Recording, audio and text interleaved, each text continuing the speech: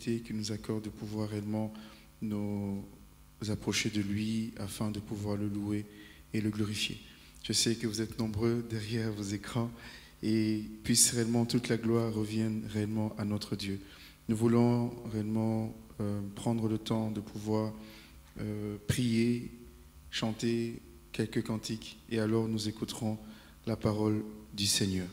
Nous allons prier et recommander ces instants entre les mains du Seigneur. Je regarde au loin, au-delà du Jourdain, venant m'emmener à la maison. Une cohorte d'anges qui vient après moi, venant m'emmener à la maison. Descends, descends, descends, doux chariot, venant m'emmener à la maison. Descends, descends, descends, doux chariot, venant m'emmener à la maison.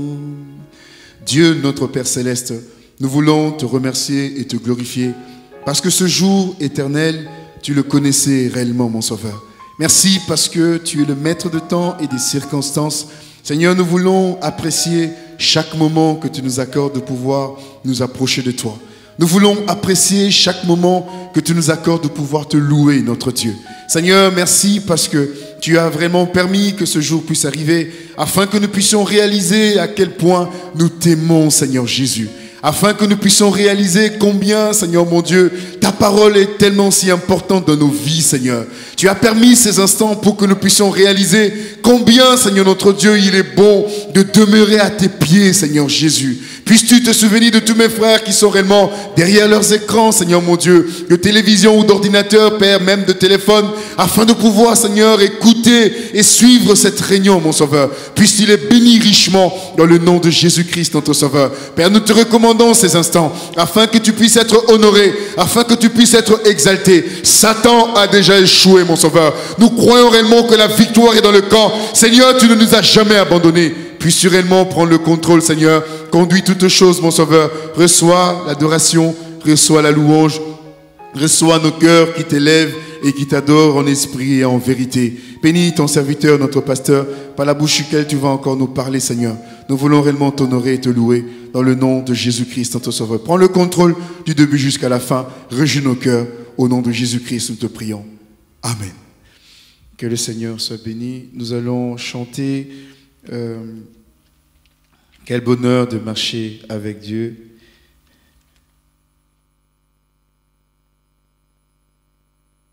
C'est le numéro 33 dans les phares 33.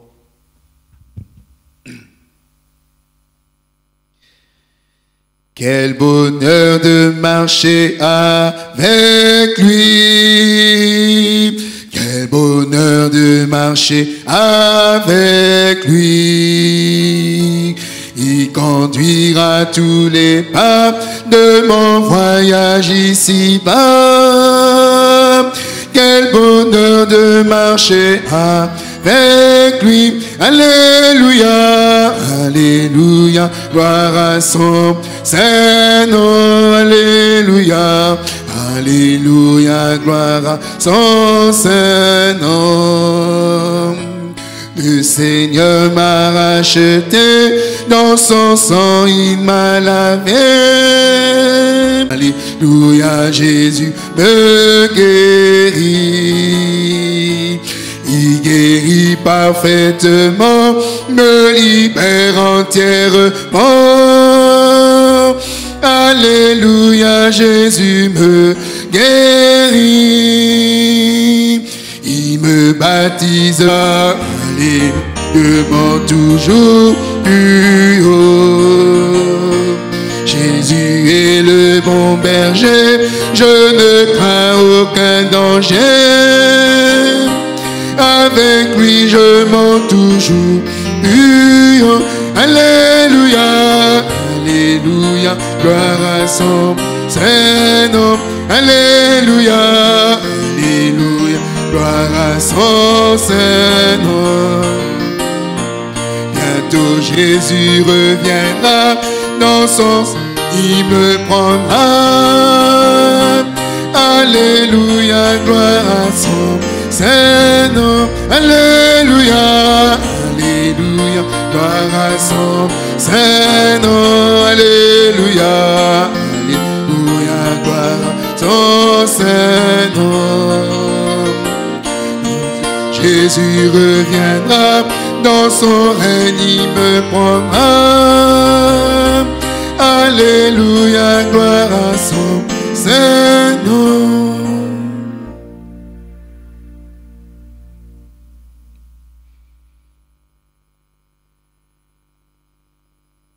Que le Seigneur soit réellement glorifié, que le Seigneur soit béni. Nous remercions notre Dieu pour euh, une année de plus qu'il a accordé à notre sœur Marie-Chantal aujourd'hui.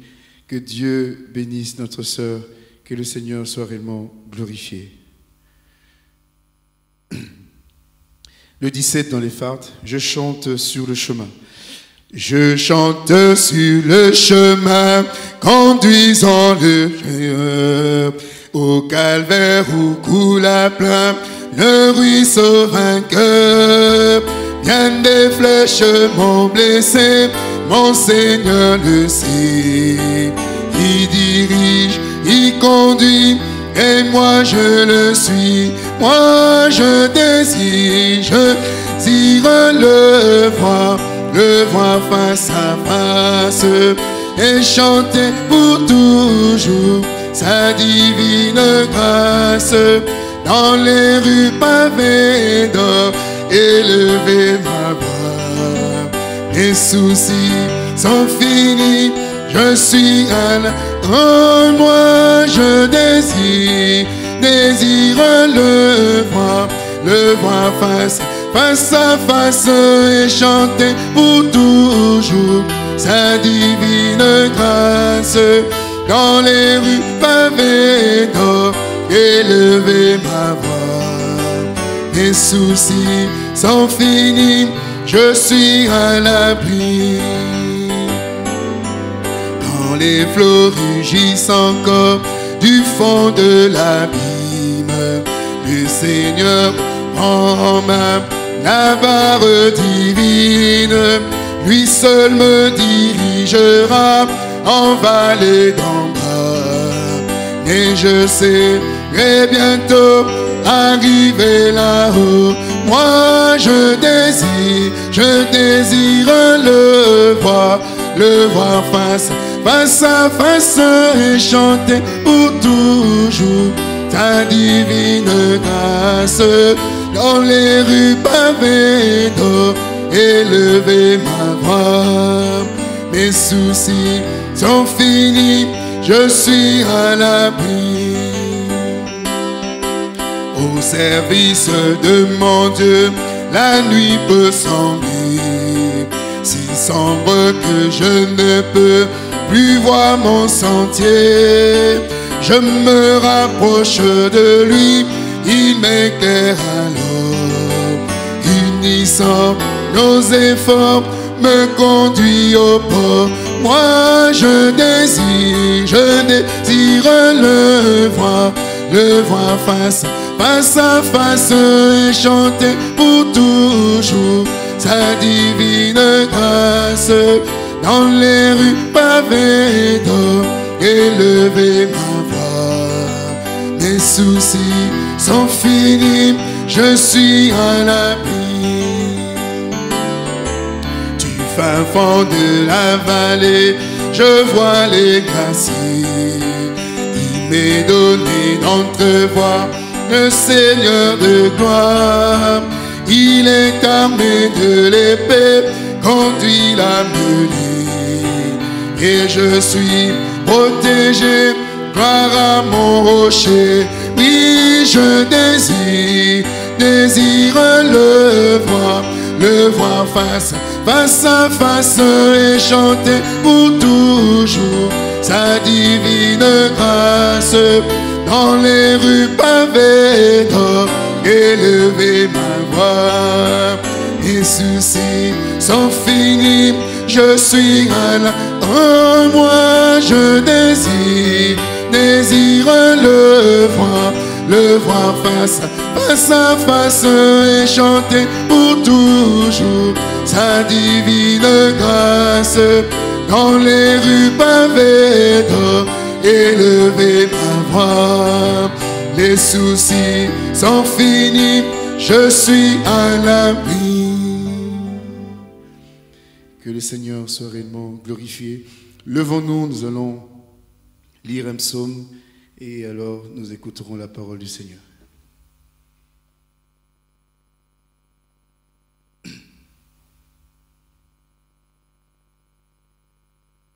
Nous lisons dans le livre des psaumes au chapitre 126, psaume chapitre 126, nous lisons la parole du Seigneur.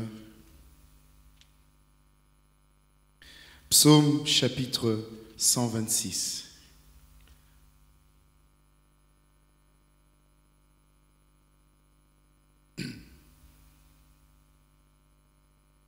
Quand l'Éternel ramena les captifs de Sion, nous étions comme ceux qui font un rêve. Alors notre bouche était remplie de cris de joie et notre langue de chants d'allégresse. Alors on disait parmi les nations, l'Éternel a fait pour eux de grandes choses. L'Éternel a fait pour nous de grandes choses. Nous sommes dans la joie.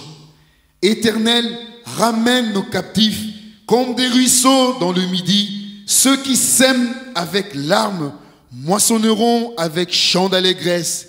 Celui qui marche en pleurant quand il porte la sémence revient avec allégresse quand il porte ses gerbes. Amen. Exaltez l'éternel, notre Dieu, et prosternez-vous sur sa montagne sainte.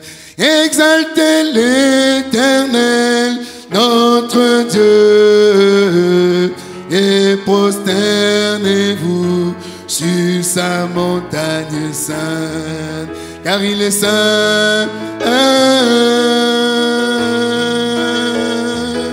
car il est saint.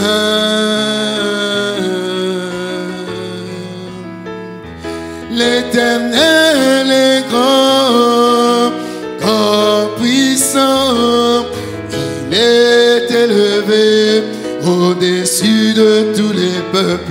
peuples. On célèbre son nom, grand et redoutable. On célèbre l'avance du Dieu qui aime la justice. Venez prosternons-nous et humilions-nous. Fléchissons les genoux devant le Créateur car il est notre Dieu et nous sommes son peuple, le tout le berger, le troupeau que sa main conduit. Notre Père Céleste et notre Dieu, nous voulons vraiment te dire encore merci. Que ton nom soit béni pour cette grâce que tu nous as accordée encore en ce jour, au Dieu d'avoir ce souffle de vie et de pouvoir réellement aussi te célébrer, honorer ton nom, mon bien-aimé Père. Tu nous as crié pour cela, Père. Parce que si nous ne pouvons pas te louer, qui pourrons-nous encore louer, mon bien-aimé Père Saint? Nos cœurs et nos âmes sont davantage attirés vers toi, réalisant la grâce, voir vivre réellement pour toi, Père. Sur la terre, nous ne prenons plaisir qu'en toi, notre Dieu. Nous ne vivons que pour te servir, toi, notre roi. C'est pourquoi j'ai prié pour ton peuple, mon bien-aimé Père Saint. Ils sont maintenant derrière leurs écrans, dans la maison, en différents endroits, bien-aimé Père Tubissant. Oh Dieu, que tu puisses vraiment le bénir le fortifier davantage, mon Père. Tu es le Dieu qui donne encore la force, mon Père Tubissant. Tu as vu les larmes de ton peuple encore, Père Tubissant, Dieu, parce que chacun d'eux aurait aimé dans ta maison encore aujourd'hui, mon bien-aimé Père Tubissant. Mais tu as vu les circonstances, mon bien-aimé Père Tubissant, Dieu. Mais tu es celui qui bénit encore davantage, mon roi. Qu'ils soient tous bénis, qu'ils soient tous fortifiés, mon Père Saint. Nous rendons gloire à ton nom parce que tu es l'alpha et l'oméga, Seigneur. C'est toi qui nous as accordé la grâce de pouvoir vivre encore ce temps, Père oh Dieu. Et dans un temps comme celui-ci, bien-aimé Père de témoigner que tu es vraiment le Dieu vivant. Merci encore pour les psaumes, merci encore pour les cantiques, mon bénémoine Père Saint-Dieu. Nous sommes vraiment heureux de savoir que parce que tu vis, mon bénémoine Père Tubissant, dans ces temps aussi, nous avons la grâce encore pour ta gloire.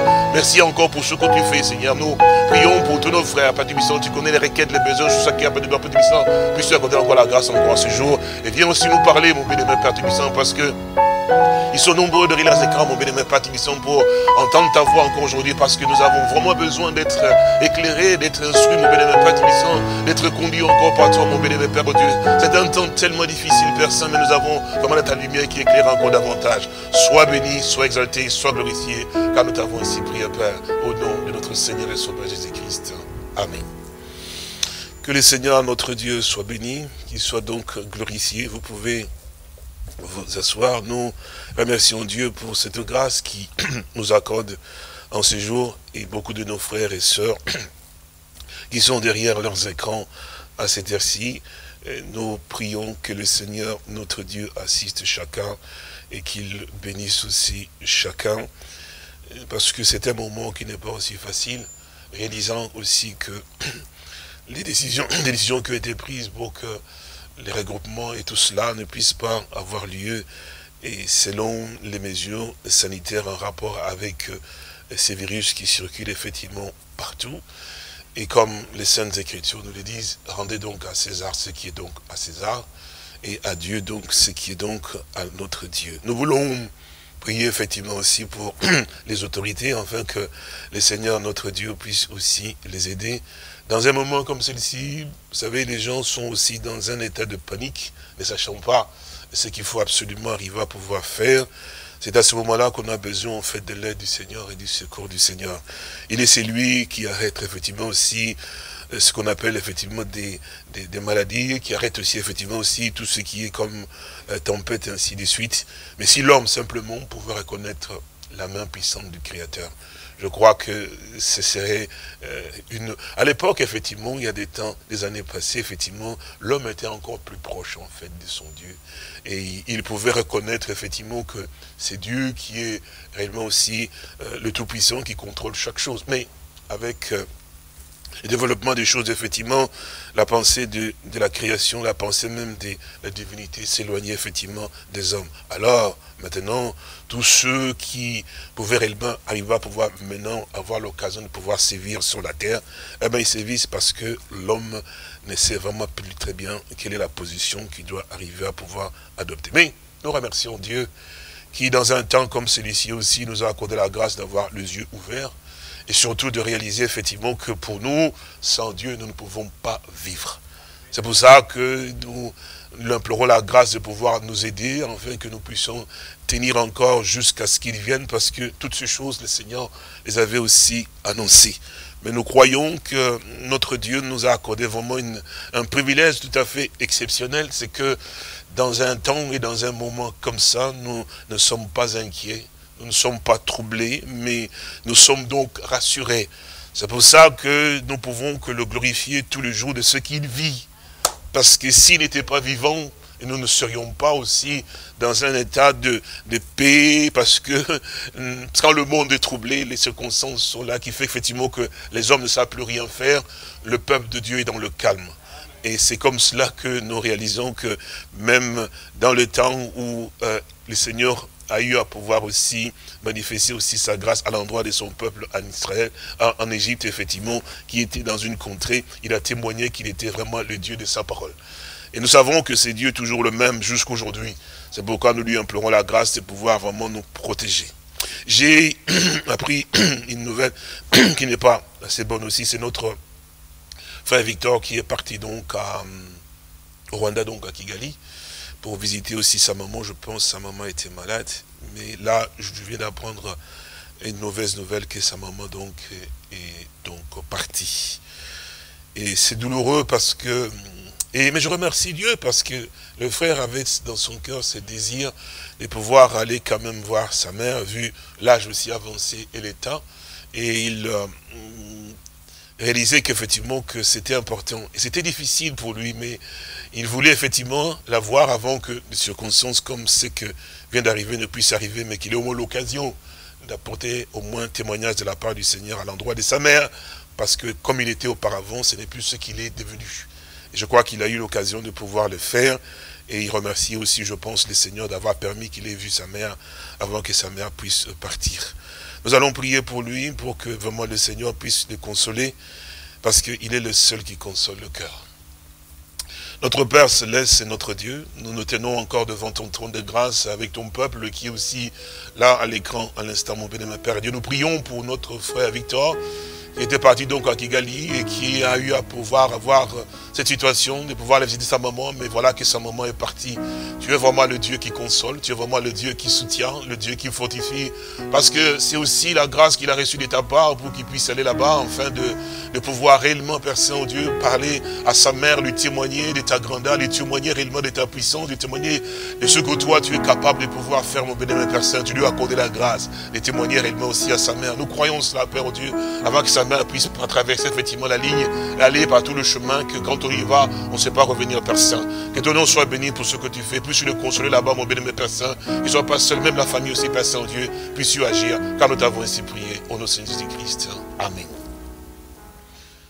Nous réalisons certainement, c'est vrai, que avec tout ce qui se passe autour de nous, je crois que l'humanité et le monde doivent arriver à pouvoir prendre conscience qu'il y a un Dieu qui existe et qu'effectivement que tout ce que nous pouvons arriver à pouvoir euh, euh, réaliser et faire aujourd'hui, ça ne peut même pas arriver à pouvoir contrer ce que Dieu peut décider de pouvoir faire.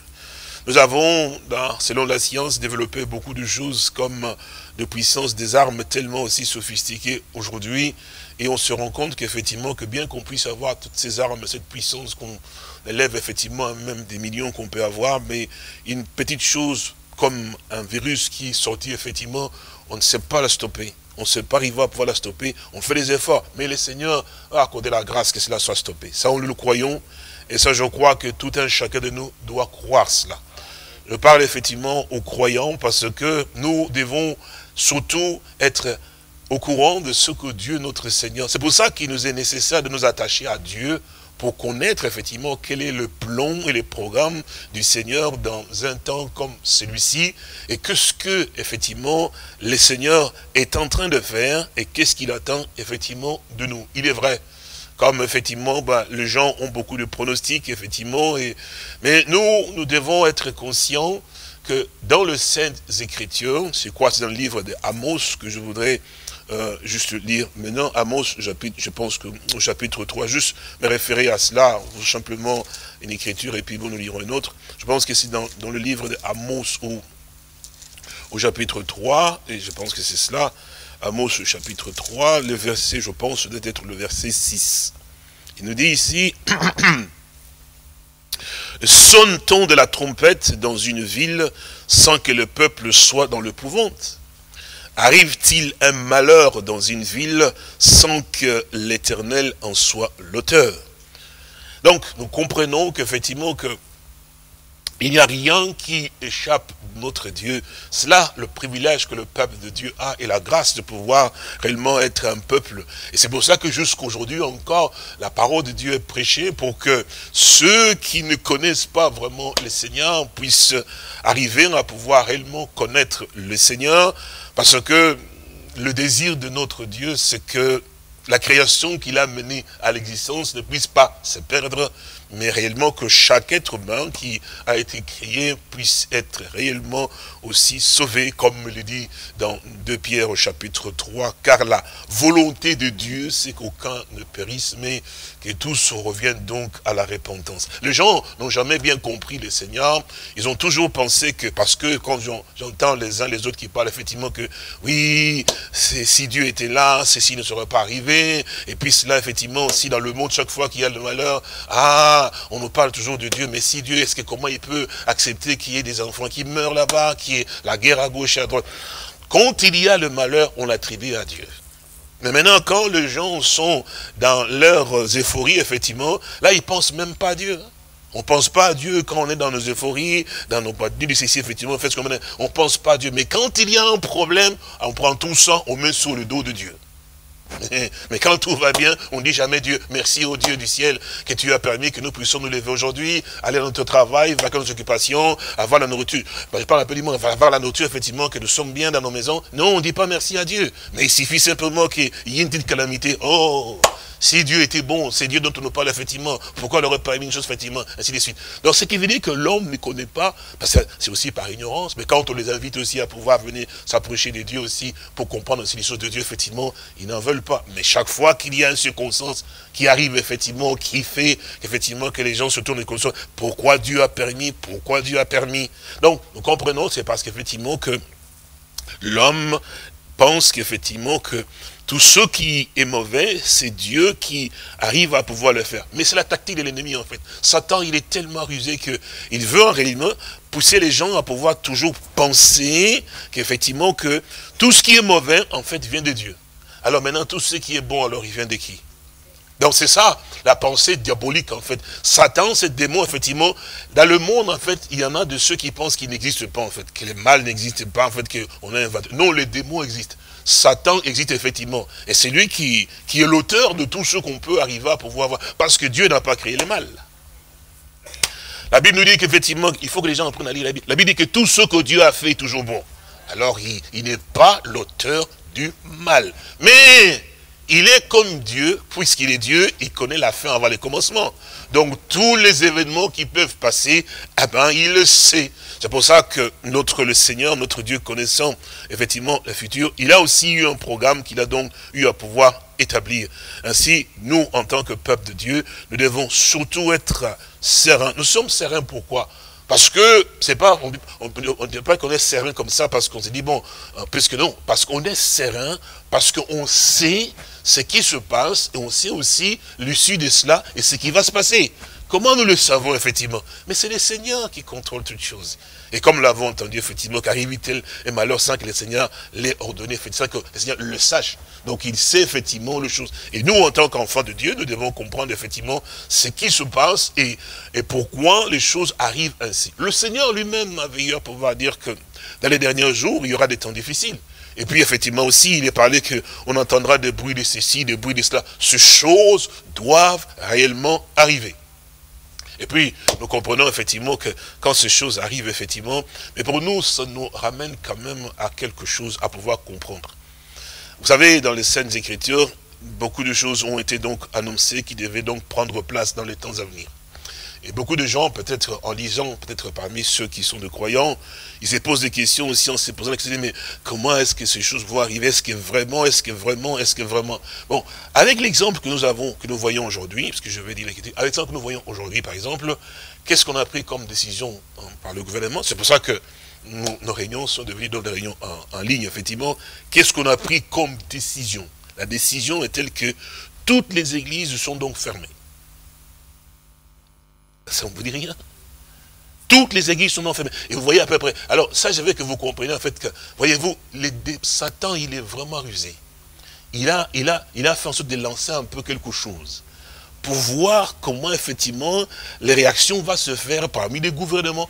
Et vous devez savoir que tous les gouvernements du monde aujourd'hui, ils ont fermé les écoles. Ah oui, oui, vous, n'avez pas remarqué. Donc c'est une décision comme une décision uniquement, en fait, qu'on a pris, le monde entier a pris la même décision. Et c'est comme ça que nous avançons dans ce que nous, nous pouvons, nous pouvons comprendre que personne ne pourra ni acheter, ni vendre, effectivement. Parce qu'ils vont, les gens vont dire, mais comment ça va se passer? En fait, on voit déjà les tests.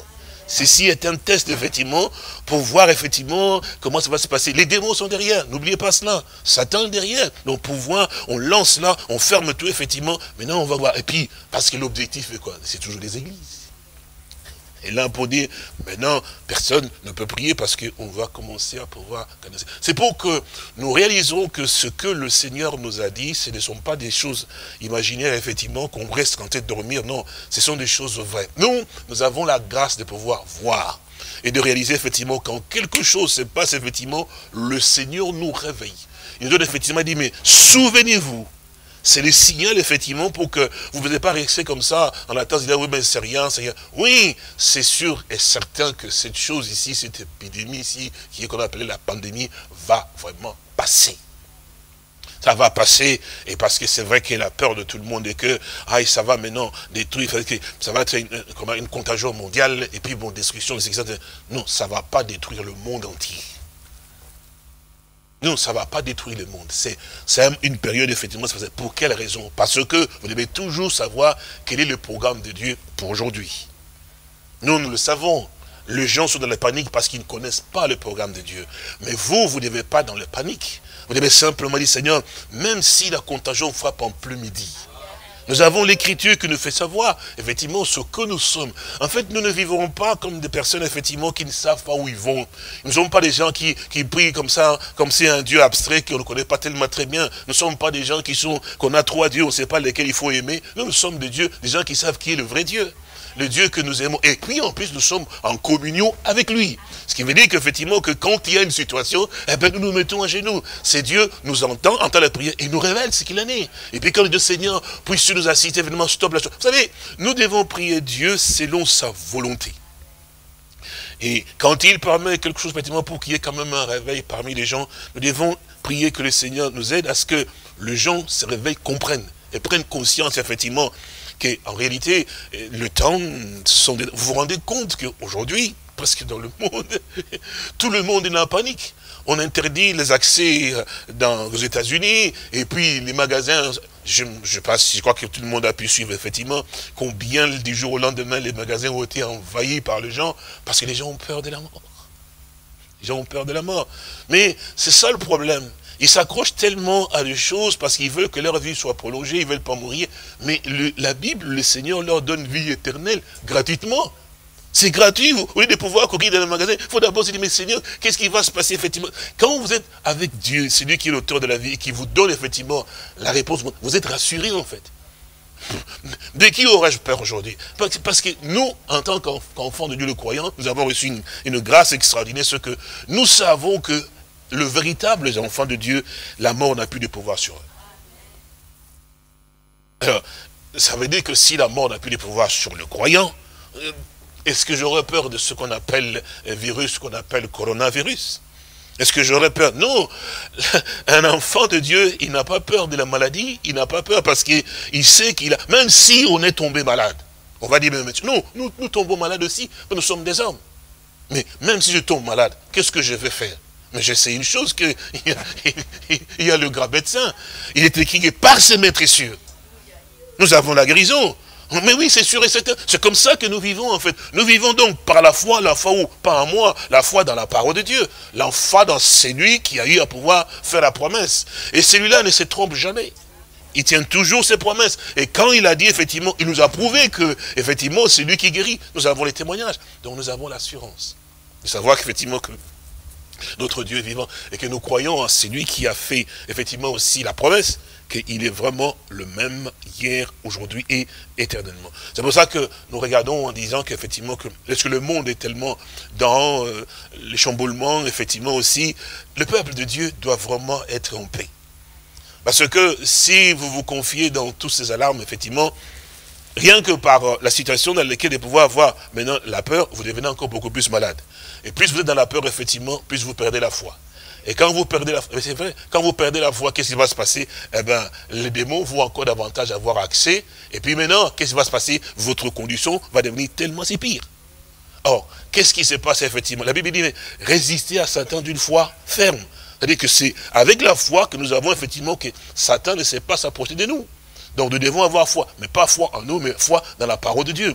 Et quand nous sommes, nous sommes concernés par celui que nous sommes informés par le Seigneur qui nous montre effectivement ce qu'il en est, alors nous marchons vraiment avec beaucoup d'assurance. C'est pour ça que je disais tout à l'heure que le monde est dans l'ébullition, dans les mois. Se pose la question comment ça va se passer le lendemain? Et c'est normal. Mais nous, nous savons comment sera le lendemain. Parce que ceci va se stopper. Pour quelle raison? Parce que Dieu a un programme. Mais ceci est une petite secousse, effectivement, pour réveiller quand même le croyant, réveiller effectivement tout ce monde, effectivement, parce que Dieu, il faut que nous connaissions réellement ce Dieu que nous, que servons, le Dieu de la Bible, en fait.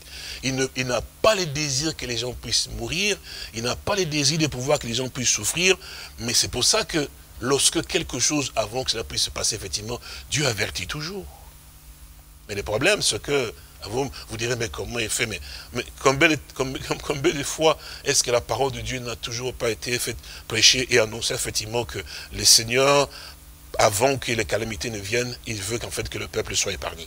Et tout ça, jusqu'aujourd'hui encore. D'ailleurs, nous avons aussi l'Internet aujourd'hui pour pouvoir, il va pouvoir apporter la parole de Dieu. C'est le moyen que tout le monde peut même avoir accès et pouvoir entendre. Donc personne n'est épargné. Donc Dieu ne détruit pas. Avant de détruire, il avertit d'abord. C'est à cause de l'amour qu'il a pour l'homme. Mais c'est l'homme qui doit aussi prendre conscience qu'effectivement que c'est Dieu, effectivement, c'est un bon Dieu, qu'on le coûte d'abord pour savoir effectivement ce qu'il en est. Je crois que vous vous souvenez effectivement quand il était parlé effectivement en rapport avec euh, la question concernant Jérusalem, effectivement, dont les temples, qui ne sera pas, il ne restera pas ici pierre sur pierre, il ne sera renversé. Vous vous souvenez, dans Matthieu chapitre 24, effectivement. Et le Seigneur a répondu à ces questions, il dit, mais oui, lorsque vous verrez Jérusalem investi, sachez que c'est son temps. Évidemment que ce qui s'est passé, c'est que les armées euh, des Titus, effectivement, sont rentrées, mais tout le monde ne comprenait pas. Mais bon, c'est normal. Mais les disciples, quand ils ont vu cela, se disent, oh Seigneur, c'est qu'il y a une situation qui va prendre place, nous, nous devons partir, parce que tu as dit que quand on voit ça, c'est son temps, on partir. Les gens qui n'avaient pas eu à pouvoir vraiment croire au Seigneur, parce que, comme vous savez, il était vraiment méprisé, rejeté, ils n'ont pas cru à ce qu'il avait dit, ben, ils sont restés. Ils ont prié le Dieu Jéhovah comme il est prié effectivement. Mais vous connaissez la suite effectivement. C'est là qu'il y a la diaspora juive où tout a été détruit. Donc il y a toujours effectivement quelque chose que Dieu avertit d'abord. Et puis à ce moment-là, tous ceux qui veulent écouter effectivement, prendre conscience de cela, alors ils seront épargnés. C'est pour ça aussi la même chose. Donc nous, nous devons être conscients effectivement que quand ces choses ainsi commencent à se passer, il n'y a pas de panique. Qu'est-ce que la Bible nous dit effectivement? Le Seigneur dit, mais quand ces choses commenceront à arriver, paniquez-vous?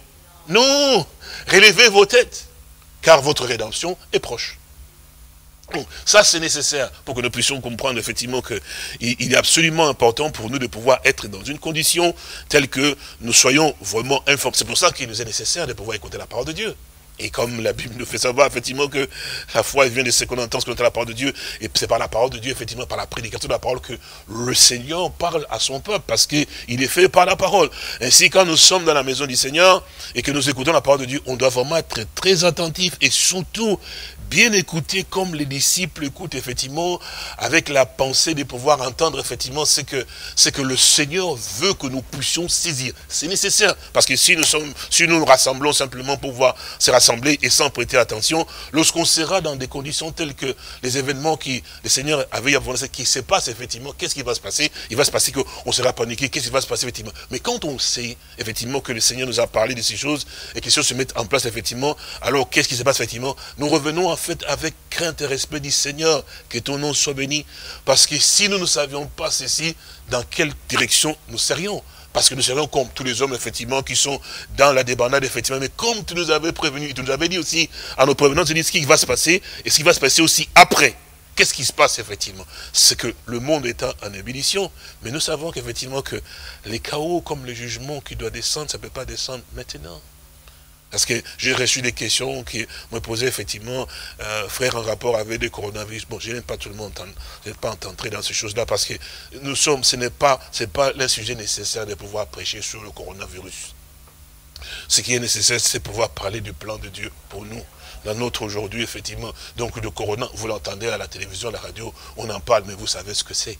On a donné le nom de corona, mais c'est toujours un démon c'est un mauvais esprit, effectivement, donc, qui circule, effectivement. Alors, nous, nous savons que, en tant qu'enfants de Dieu, nous n'avons pas peur de cela. Puis, comme un cantique le dit, sur le chemin va sans peur. C'est cela que nous devons, avant de pouvoir lire, c'est que nous devons être sûrs et certains, même ceux qui nous écoutent, ce n'est pas nécessaire de pouvoir paniquer, en fait. Quand le monde panique, nous, nous sommes dans la paix. Oui, oui, oui. Pourquoi? Parce que nous disons toujours, quand nous prions, même quand nous prions notre Père Céleste, nous disons notre Père Céleste qui est aux cieux. Donc nous avons notre Père. Ce royaume, ce monde ne nous appartient pas. Mais nous avons notre royaume auquel nous, nous appartenons effectivement. Et dans ce royaume-là où nous sommes, nous avons un Dieu. Et ce Dieu est notre Père. Et il a toutes choses, effectivement. Quand la maladie frappe, vous savez, c'est aussi un cantique que nous chantons, et, et quand la maladie vient et travaille pour mon bien. C'est ça, je pense. Hein? C'est ça, la maladie vient. Non, non, non, non. Donc, et, et fortifie ma foi puisque j'aime Jésus. Donc, euh, il ne va pas me faire paniquer, mais fortifie ma foi, dit, Seigneur, tu as, fait, tu as fait la promesse et tu es capable. Et aujourd'hui encore, on dit, Seigneur, notre Dieu, tu es le Dieu qui fait des merveilles. Parce que nous savions une chose que tu dis, le monde ne peut pas comprendre, mais nous comprenons.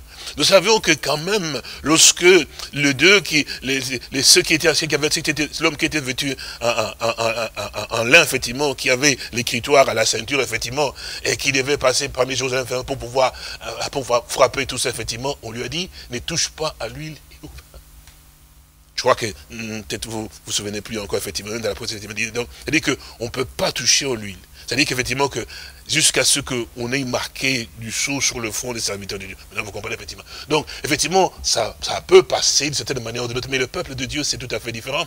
Et puis, en plus, on ne peut pas détruire aussi longtemps que le peuple de Dieu est là. Donc, si vous croyez que vous êtes le peuple de Dieu, donc vous devez simplement être rassuré avoir confiance effectivement dans le Seigneur. C'est là le privilège que nous avons effectivement de connaître Dieu dans ce monde dans lequel nous sommes. Et nous marchons avec assurance, comme nous l'avons entendu, je pense c'était mardi ou je ne sais pas quel jour effectivement. Et là, nous avons entendu que, comme Jean pouvait le dire, que maintenant nous sommes enfants de Dieu maintenant. Et si nous le sommes effectivement, alors on est différent on doit comprendre qu'effectivement, que si nous sommes enfants de Dieu, de qui aurais-je peur? De quoi aurais-je peur, effectivement? Euh, Serait-ce la tribulation? Vous savez, je crois que quelque part, euh, quelque part dans les Saintes Écritures, parce que je voudrais lire dans les, livres de, Luc tout à l'heure, mais je voudrais quand même cela. Je crois que c'est dans le livre de Romains, je pense qu'il dit, hein, euh, Romains ici, au, chapitre 8, ça c'est l'apôtre Paul qui, nous, fait, nous, fait, part de cela. Romains au, au chapitre 8, et, nous lisons à partir du verset 35, je pense, il dit ceci. D'abord, je lis cela, mais vous allez comprendre. Qui nous séparera de l'amour de Christ? Serait-ce la tribulation ou l'angoisse? Ou la persécution, ou la faim, ou la ou le péril, ou l'épée. C'est le qu'il est écrit, c'est à cause de toi qu'on nous met à mort tous les jours, qu'on nous regarde comme des brebis destinées à la boucherie. Mais dans toutes ces choses, nous sommes plus que vainqueurs par celui qui nous a donc aimés. Maintenant, écoutez bien. Car j'ai l'assurance que ni la mort, ni la vie, ni les anges, ni les dominations, ni les choses présentes, ni les choses à venir, ni les puissances, ni la hauteur, ni la profondeur, ni aucune autre créature ne pourra nous séparer de l'amour de Dieu manifesté en Jésus-Christ notre Seigneur. Alors, qu'est-ce qui peut nous faire peur? Parce que ici, on nous fait bien comprendre, il dit, mais, mais j'ai l'assurance qu'il ni la mort, ni la vie, ni les anges, ni les dominations. Donc, même, un démon qui a la taille, je ne sais pas quelle taille, mais, qu'est-ce qu'il peut me faire? Est-ce que vous comprenez? Donc, peu importe la taille de ces démons, il ne peut rien me faire. Parce qu'il y a quelque chose qui s'est passé. Nous avons une grâce, un privilège. Parce que d'abord ici, il dit, dans toutes ces choses, en fait, nous sommes plus que vainqueurs. Mais nous avons l'autorité, même si je suis tombé dans une situation, effectivement, il y a quelque chose que Dieu nous a donné la grâce, c'est de nous relever. Parce que nous sommes des enfants de Dieu. Il ne nous a pas sauvés pour être perdus par après. Jamais. Et s'il nous a sauvés et que nous avons eu à voir la grâce de recevoir Christ notre Seigneur, qu'est-ce qui s'est passé? Ce que Dieu nous a ramené à la position comme à l'époque. Ça veut dire quoi comme à l'époque? Mais comme Adam. Et c'est ça, en fait, l'avantage, la, grâce que nous n'avons pas beaucoup plus appréciée. Parce que, si vous remarquez très bien, frères et sœurs, je dois lire dans le livre de Luc tout à l'heure, mais si vous remarquez très bien quelque chose, c'est que, quand Adam était dans le jardin d'Éden, nous l'avons souvent entendu, mais nous avons remarqué qu'effectivement, qu'il avait quelque chose de tellement particulier. C'est-à-dire qu'il était d'abord euh, dans la paix, il gérait toutes choses, effectivement. Il était, il était Dieu, il était sur la terre, il, pouvait faire ce qu'il avait envie de pouvoir faire. Est-ce que vous vous souvenez? Et c'est cela, effectivement. Donc là, là, dans ce domaine dans lequel il s'est trouvé, mais il y avait... Quelle est la maladie qui pouvait s'approcher d'Adam? Quel est même cet ange qui pouvait arriver à voir, venir pour dominer Adam Il n'y en avait personne. Dieu lui a dit, effectivement, dit, mais tu vois, je te donne pour dominer sur toutes choses. C'est qu'il avait l'autorité, effectivement. Le seul qui était au-dessus de, d'Adam, c'était Dieu. Et c'est Dieu en question, c'était son Père. Donc il, commandait, il agissait, il disait la chose, effectivement. C'est ça, ça en fait qu'on doit comprendre. Mais maintenant, quand la chose est arrivée le serpent a séduit Ève, Adam savait ce qui se passait. Ah ben oui, quand il a vu la femme, c'est sûr, parce que c'est pas Adam qui est parti le premier. c'est le serpent qui est parti vers, vers Ève, et puis le serpent, et c'est Ève qui est venu maintenant avec les, fruits pour du goûtons, effectivement. Il savait très bien.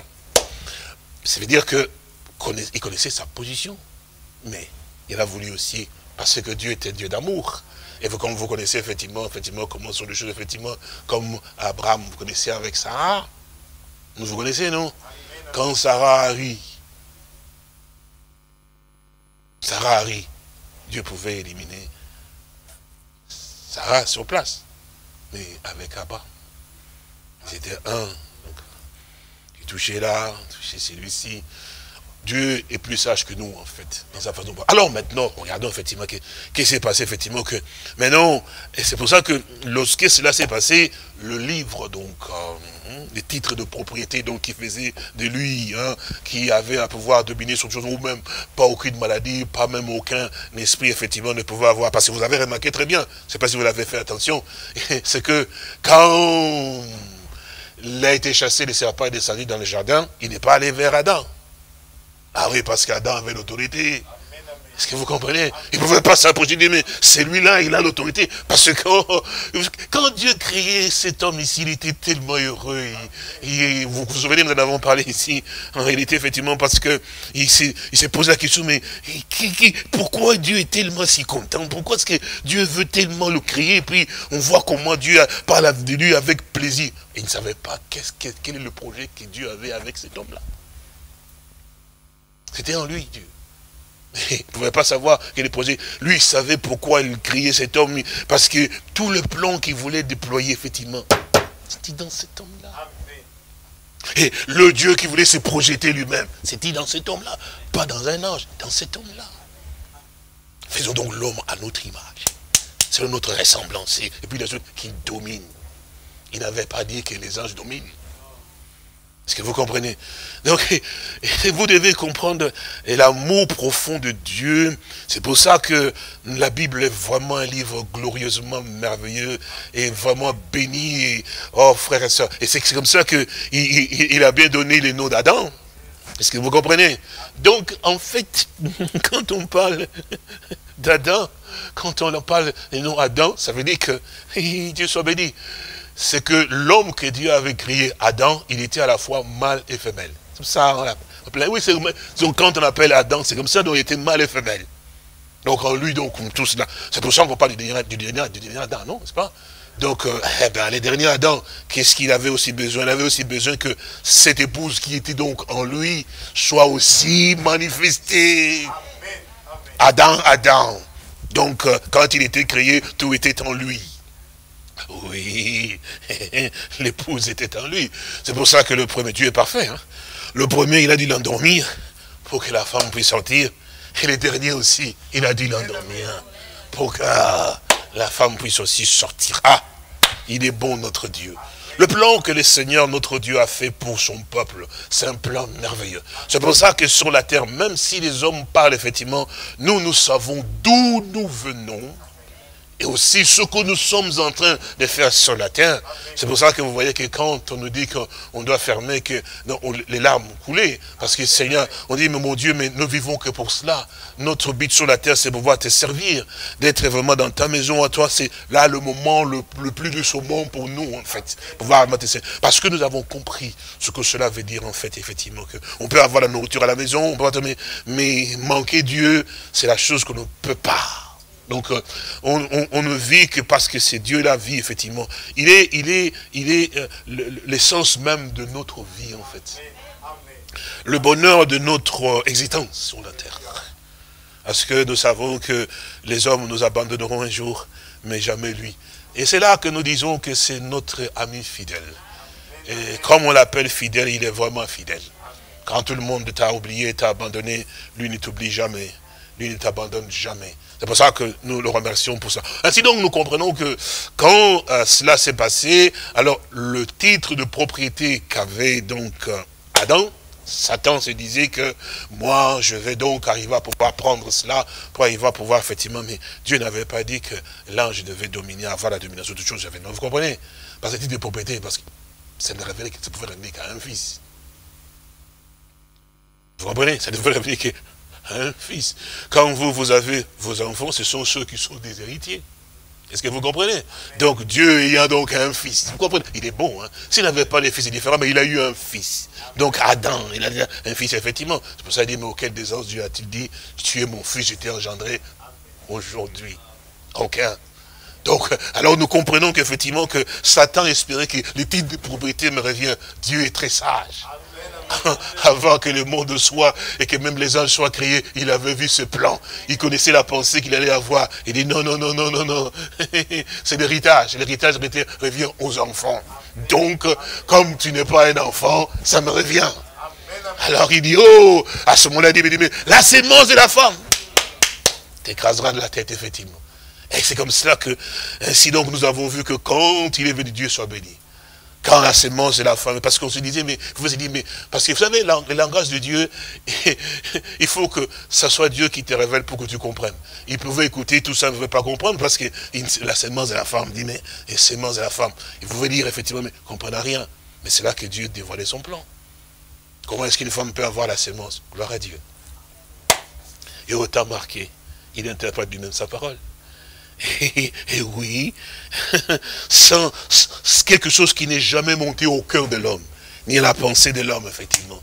Et voilà qu'un jour, l'ange Gabriel se présente devant une jeune fille. Marie. C'est quand même merveilleux, cette écriture de, de Genèse chapitre 3, verset 15 des centaines, des centaines d'années, les Abraham sont passés, les Cécile sont passés, tout cela, effectivement, cette écriture attendait que cette jeune fille puisse naître. C'est quand même extraordinaire. Attendez que cette jeune, pas toutes les jeunes filles pouvaient naître, effectivement, mais on attendait seulement celle-là. Oh Dieu. beaucoup de gens vous mettre dans ce monde, mais Dieu n'attendait que vous. Bien sûr, mon frère. Il beaucoup de populations me le regardaient, ils regardaient, ils ne trouvaient pas celle ou celui que lui a eu à pouvoir vraiment vouloir prédestiner pour qu'il puisse être héritier de la chose. Jusqu'à ce que, c'est pour ça que vous devez réaliser effectivement que beaucoup de vos camarades, beaucoup de bébés qui étaient même peut-être dans la maternité avec vous à côté, ils ont eu à attraper des choses, effectivement, ils sont partis. Mais même vous, quand la chose vous a frappé, vous n'êtes jamais mort. Amen, amen. Parce qu'on est tous passés par des, maladies, non? Même des virus, hein, qu'on appelle les rougeoles, tout ça. parce que quand on parle de coronavirus, la rougeole tue beaucoup plus que le coronavirus. Mais oui, vous êtes des médecins, enfin, vous êtes des médecins, vous comprenez cela effectivement. Donc, ça veut dire que, et, regardez, mais ça c'est venu, ça a frappé, les uns ils sont même partis, mais toi, c'est resté en toi, ça, ça a créé l'humilité encore en plus. Vous comprenez? C'est un peu ça. Mais c'est comme ça que Dieu a sa façon de pouvoir faire les choses. Mais on peut voir même dans notre vie, dans certaines circonstances, on dit, mais ah, c'est pas possible. Comment est-ce que moi je peux passer comme ça, puis arriver, quand j'étais même jeune, je connaissais même pas Dieu, mais il y avait comme quelque chose dans ma vie qui, quand j'allais quelque part, je sentais comme une protection. Mais je connaissais pas Dieu. C'était toujours Dieu. Parce qu'avant que tu sois formé dans la scène de ta maman, il te connaissait en fait. Et autant marqué de Dieu, eh bien Dieu a eu à pouvoir réellement aussi manifester la personne, effectivement. Donc c'est comme cela que nous réalisons que quand il a, il naquit, effectivement, et qu'il a été donc manifesté sur la terre, il a montré, effectivement, qu'il était... C'est pour ça que beaucoup de gens ne comprennent pas quand on parle, effectivement, de Fils de Dieu, Jésus est le Fils de Dieu, effectivement. Oui, il dit alors, s'il est le Fils de Dieu, il doit avoir le Père. C'est normal, c'est vrai qu'il a un Père puisqu'il est né de Dieu, effectivement. Comme vous le savez, la parole de Dieu, effectivement. Mais en fait, quand on l'appelle Fils de Dieu, c'est parce qu'il est le Sauveur. Fils de Dieu veut dire donc le sauveur. Aujourd'hui, c'est écrit. Alors, il vous est né aujourd'hui un sauveur. Un sauveur. C'est comme quand on l'appelle fils de l'homme, donc c'est-à-dire le prophète. Donc là, fils de Dieu, donc sauveur, effectivement, dans sa manifestation en tant que sauveur. Donc, comprenant Et c'est comme ça que, en, marchant et en vivant. Et alors, il est arrivé dans les Saintes Écritures, comme l'Écriture nous fait savoir, puisqu'il était mort enseveli, et le troisième jour, il est donc ressuscité. C'est comme ça qu'il a dit donc euh, à ses apôtres, il dit effectivement que euh, ne partez pas de Jérusalem, attendez jusqu'à ce que nous l'avons entendu. Jusqu'à ce qu'effectivement, nous avons compris la raison pour laquelle il avait demandé, on va attendre. C'est lui qui est monté là. Il est revenu sous la forme du Saint-Esprit pour continuer effectivement l'œuvre. C'est pour ça que ce ne sont pas des prédicateurs, c'est le Seigneur Jésus-Christ dans l'homme qui continue effectivement son œuvre. Quand un serviteur de Dieu vous aime, ce n'est pas l'homme qui vous aime, c'est le Seigneur qui vous aime au travers de l'homme. Et ça, c'est quelque chose. C'est pour ça que vous devez toujours remarquer une chose comme ça, qu'un véritable homme de Dieu, qui est choisi par Dieu comme les apôtres, ils ont beaucoup d'amour pour le peuple de Dieu. C'est pas que ces hommes sont des hommes qui ont de l'amour. En fait, non, à cause de la nature qui est en eux. Parce que si Dieu, s'ils étaient simplement des hommes, ils feraient beaucoup de dégâts. Mais ils sont devenus spéciaux parce que le Seigneur est là-dedans. Voilà pourquoi que, oh, que Dieu nous aide. C'est pour ça que beaucoup de gens C'est pour ça que quand le Seigneur a prié en disant qu'il soit un comme toi et moi, nous sommes un. Et vous avez remarqué une chose, il dit, pourquoi il a dit cela? Effectivement Il dit, mais, il dit, mais personne.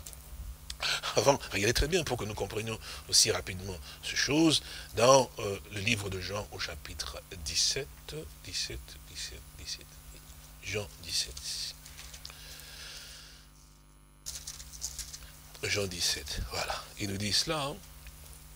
Il dit une chose ici, verset, euh, verset, 17, verset 12, il dit, euh, lorsque, verset 11, il dit, verset 11, il dit, je ne suis plus dans le monde, et ils sont dans le monde, et je vais à toi, Père Saint, garde-le en ton nom, garde-les garde, en ton nom, tous ceux que tu m'as donnés, afin qu'ils soient un comme nous. C'est cela, non? Ou bien, attends, je vais, je vais prendre la euh, version que nous avons ici avec, avec, avec vous. Je pense que Jean 17, Jean 17, c'est là, Jean 17, et nous, disons à partir du verset, euh, le verset, verset 11. Je redis cela, il dit, Jean 17, verset 11, il dit, oh, je ne suis plus dans le monde, et ils sont dans le monde, et je vais à toi, Père Saint, garde en ton nom ceux que tu m'as donnés, afin qu'ils soient un comme nous. Lorsque j'étais avec eux, je, dans le monde, je les gardais en ton nom. Et j'ai gardé ce que tu m'as donné, et aucun d'eux ne s'est perdu, sinon le fils de perdition, en fait que l'écriture fait accompli. Ici, il nous dit quelque chose de tellement si important. Il dit, il dit, je ne suis plus dans le monde, et ils sont dans le monde, et je vais à toi, personne, garde en ton nom ce que tu m'as donné, afin qu'ils soient un comme nous. Et il parle en fait de l'unité entre lui et le Père. Vous vous souvenez Et dans cette unité, effectivement, il nous dit une chose. Et quand la question lui a été posée euh, euh, par, euh, d'abord, Thomas d'abord, et puis Philippe qui lui a posé la question, lorsque le Seigneur a dit, dans sa parole, il dit maintenant que vous savez où je vais, maintenant vous en connaissez le chemin. Et puis, il dit, mais c'est Thomas qui dit, mais, mais maintenant, nous, nous savons où tu vas. Je pense à cela, dans Jean 14, on dit, Jean 14, effectivement, et, il dit, il dit, mais et Thomas il dit, mais Seigneur, nous nous savons où tu vas, comment pouvons-nous en savoir le chemin? Et Jésus lui dit, je suis le chemin, la vérité et la vie. Et puis il dit, nul ne vient au Père que par moi. Il a ajouté une parole, effectivement, c'était avec une raison précise. Il a bien répondu parce que Thomas a dit, mais nous nous connaissons où tu vas, comment pouvons-nous en savoir le chemin? Il dit, il n'y a pas de problème. Il dit, mais je suis le chemin, je suis la vérité et je suis la vie. Et puis il ajoute en disant que nul ne vient au Père que par moi. Il a fait exprès. Parce que comme ça, ils, vont se poser la question de pouvoir savoir comme cela est sorti effectivement. Parce qu'il dit, mais nul ne vient au Père que par moi. Si vous me connaissiez, vous connaîtriez aussi mon Père et de maintenant, vous le connaissez et vous l'avez vu. Alors là, ça crée un petit souci.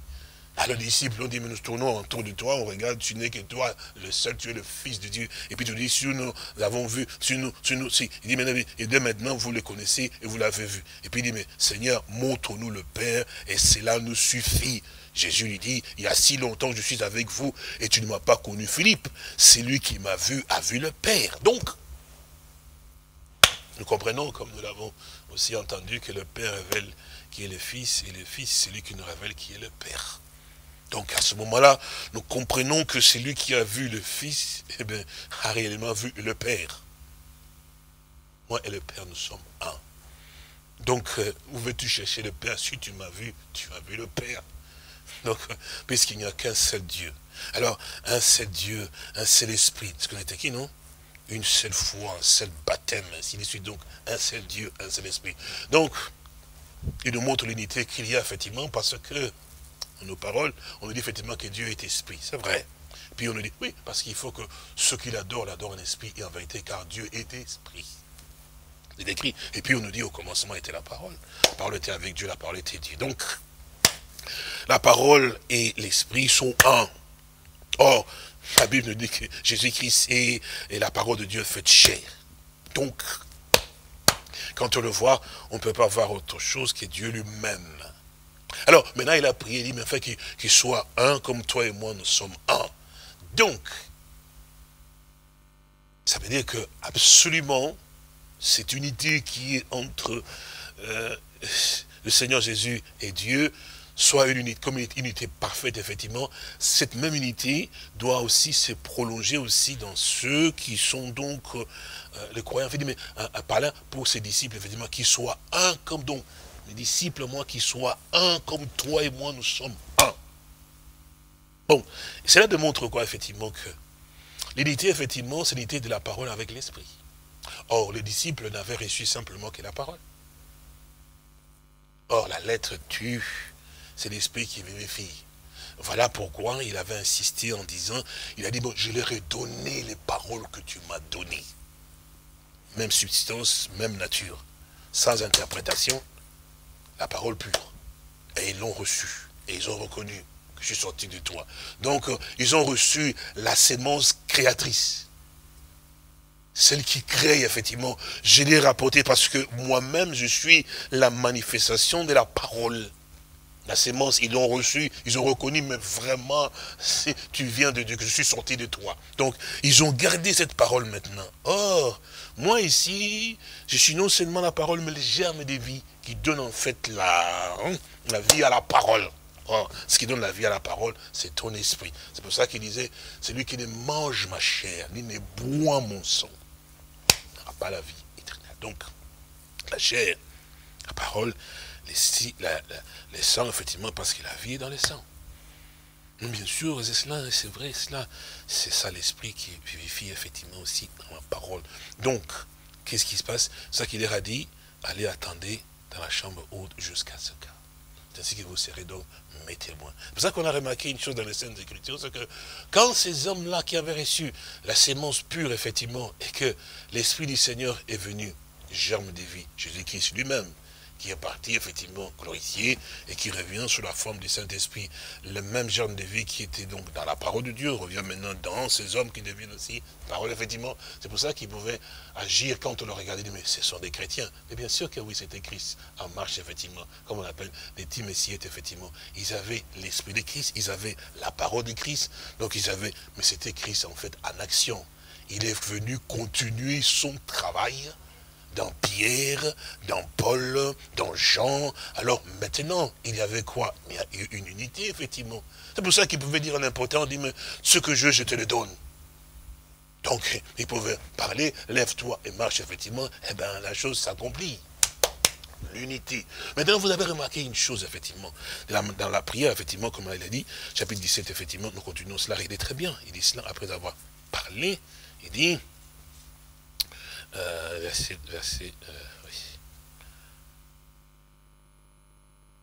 Voilà, verset, dans un verset, fait qu'il soit un comme nous, comme, comme, un comme nous. Et puis lorsque j'étais avec Jésus, gardé le monde, effectivement, et en ton nom, euh, euh verset 12, il dit, lorsque j'étais avec eux dans le monde, je les ai gardés en ton nom, j'ai gardé ceux que tu m'as donnés, et aucun d'eux ne s'est perdu, sinon les fils de la perdition, afin que l'écriture fût accomplie. Maintenant, verset 13, et maintenant, je vais à toi, et j'ai dit ces choses dans le monde, afin qu'ils aient en eux ma joie parfaite. Vous suivez? Je leur ai donné ta parole, et le monde les a haïs, parce qu'ils ne sont pas du monde. Vous voyez à peu la relation? Parce que c'est important que nous comprenions ceci. Il est impossible, mon frère et ma soeur, que tu puisses t'aligner sur la nature du Seigneur et que tu puisses avoir les fréquentations du monde, que tu puisses te plaindre dans le monde. Ce n'est pas possible. Non. Même si vous, vous le désirez, cela est déjà ôté en vous. Parce que le Seigneur étant descendu, vous avez compris en fait que ces mondes, d'abord, nous sommes que des pèlerins, des étrangers, en fait. Là, effectivement, même si vous essayez de voir faire comme le monde, le monde va vous détester. Il va vous il ne peut pas vous supporter. Parce que vous avez quelque chose que le monde n'aime pas voir. Le monde aime les ténèbres. mais vous êtes la lumière, effectivement. Alors, écoutez bien, le monde C'est pourquoi il ne faut jamais vous plaindre, ah Seigneur, pourquoi je ne suis pas aimé des gens? Oui, si ce sont des véritables fils de Dieu, ils vous aimeront. S'ils ne le sont pas, ils ne vont pas vous aimer. Vous savez, un fils de Dieu, une fille de Dieu, même si son frère ou sa sœur sont dans l'erreur, je sais pas moi, je vais dire ils sont tombés dans quelque chose, effectivement, jamais la haine ne peut se manifester. Ni même pas le mépris. Ah non, non, non, non. Ah non, non, non, non. Parce que quand tu as le mépris en toi, ce qui veut dire que tu as un problème d'esprit. Ah oui, ce qui arrive à ton frère, ça peut aussi t'arriver. Tu penses toujours et disais, mais Seigneur, je ne suis pas meilleur. Parce que si ma soeur a une faiblesse ou mon frère a une faiblesse, effectivement, ça peut aussi m'arriver à moi. Donc effectivement, si tu m'as accordé la grâce comme ça, ça dit que je ne peux pas condamner quelqu'un. Je parlais hier avec, euh, avec ma, soeur qui était venue donc me voir. J'ai dit, les gens ne me comprennent pas souvent, ils interprètent mal ce que je dis. J'ai dit, mais j'ai dit, vous pouvez vous imaginer, réaliser cette scène ici en rapport avec la femme surprise en flagrant délit d'adultère. Est-ce que vous, vous avez toujours entendu, j'ai toujours répété, est-ce que je réfère, je réfère à cela, effectivement. Et les gens pensent mal, comprennent mal. Moi, j'ai dit, cette écriture ne pourra jamais être arrachée de ma vie. Parce que vous ne pouvez pas réaliser la profondeur de l'amour de Dieu dans cette écriture. C'est extraordinaire. Vraiment extraordinaire. Vous vous rendez compte, j'ai toujours à pouvoir dire, frère, la personne, même les saintes écritures, l'a condamné. Et puis, cette personne, il savait très bien que le tombeau ici, c'est pour moi, ben, l'enfer, j'irai parce qu'on va me lapider. Elle, était consciente. Il n'y avait aucun prédicateur, il n'y avait aucun, aucun prophète qui pouvait la défaire de cette situation-là. Mais voilà que, et j'ai dit toujours, j'ai dit, non, Dieu est extraordinaire. Chose qui n'est jamais montée au cœur de l'homme, ni la pensée de l'homme, effectivement. Voilà que là-bas, ils avaient cette femme, effectivement, ils l'ont prise là-bas. J'ai toujours dit à vous mais pourquoi ne l'ont-ils pas lapidée là où ils l'ont attrapée Il faut se poser la question. Bon, ils n'avaient pas besoin de pouvoir l'amener là. Pourquoi l'ont-ils pas lapidée là où ils l'ont attrapée Parce que l'endroit où ils l'ont attrapée, ils avaient des pierres, ils pouvaient la lapider. Mais ils voulaient la lapider. Qu'est-ce qui s'est passé? Mais il dit, mais non, mais, euh, vous connaissez, c'est Jésus là, non? Il est prédicateur, il peut effectivement, viens, on va amener quand même cette femme ici auprès de lui pour prouver aux gens qu'effectivement, que lui, il, n'agit pas comme, comme Moïse a pu. C'était leur pensée, effectivement. Mais en fait, pendant qu'ils étaient là avec des pierres, lui, il était de l'autre côté, effectivement, il voyait la scène. Vous vous souvenez? On en a parlé souvent ici. Il voyait la scène, frère. Et ils ont quitté là-bas pour amener la femme à cet endroit. Frères et sœurs, qui, est celui qui avait parlé à Moïse? Ce n'était pas une autre personne. ce n'était pas une autre personne. C'est-à-dire qu'il a dit que avant qu'Abraham fît « je suis », il a dit à Moïse, va leur dire que le « je suis » m'envoie vers vous. Donc c'est l'unique Dieu qui disait à Moïse des ordonnances, celui qui, a, qui a parlé à Moïse. Donc celui-même qui a dit à Moïse, pour cela, effectivement, mais c'est celui-là qui s'est tenu à cet endroit-là. Ah oui, oui, oui, oui. J'aime beaucoup le Seigneur par sa façon de pouvoir faire, parce que l'amour de Dieu à l'endroit de l'âme, en fait, est plus que ce qu'on peut imaginer, en fait, en réalité. Oui. Dieu, Dieu aime vraiment l'homme. C'est pour ça qu'on dit toujours que c'est lui qui aime, il a vraiment Dieu en lui-même. Parce que cette femme-là, toi et moi, nous la méprisions. Bien sûr que oui. Et on serait, si moi j'étais là, pour montrer Jésus spirituel aussi, je prendrais aussi la pierre pour dire que Moïse a dit, parce que nous croyons Moïse, effectivement, on doit montrer à tout le monde, effectivement, que nous restons dans l'écriture de Moïse. Si j'étais là, on ferait la même chose. Si vous savez, moi j'ai dit, moi c'est la grâce de Dieu.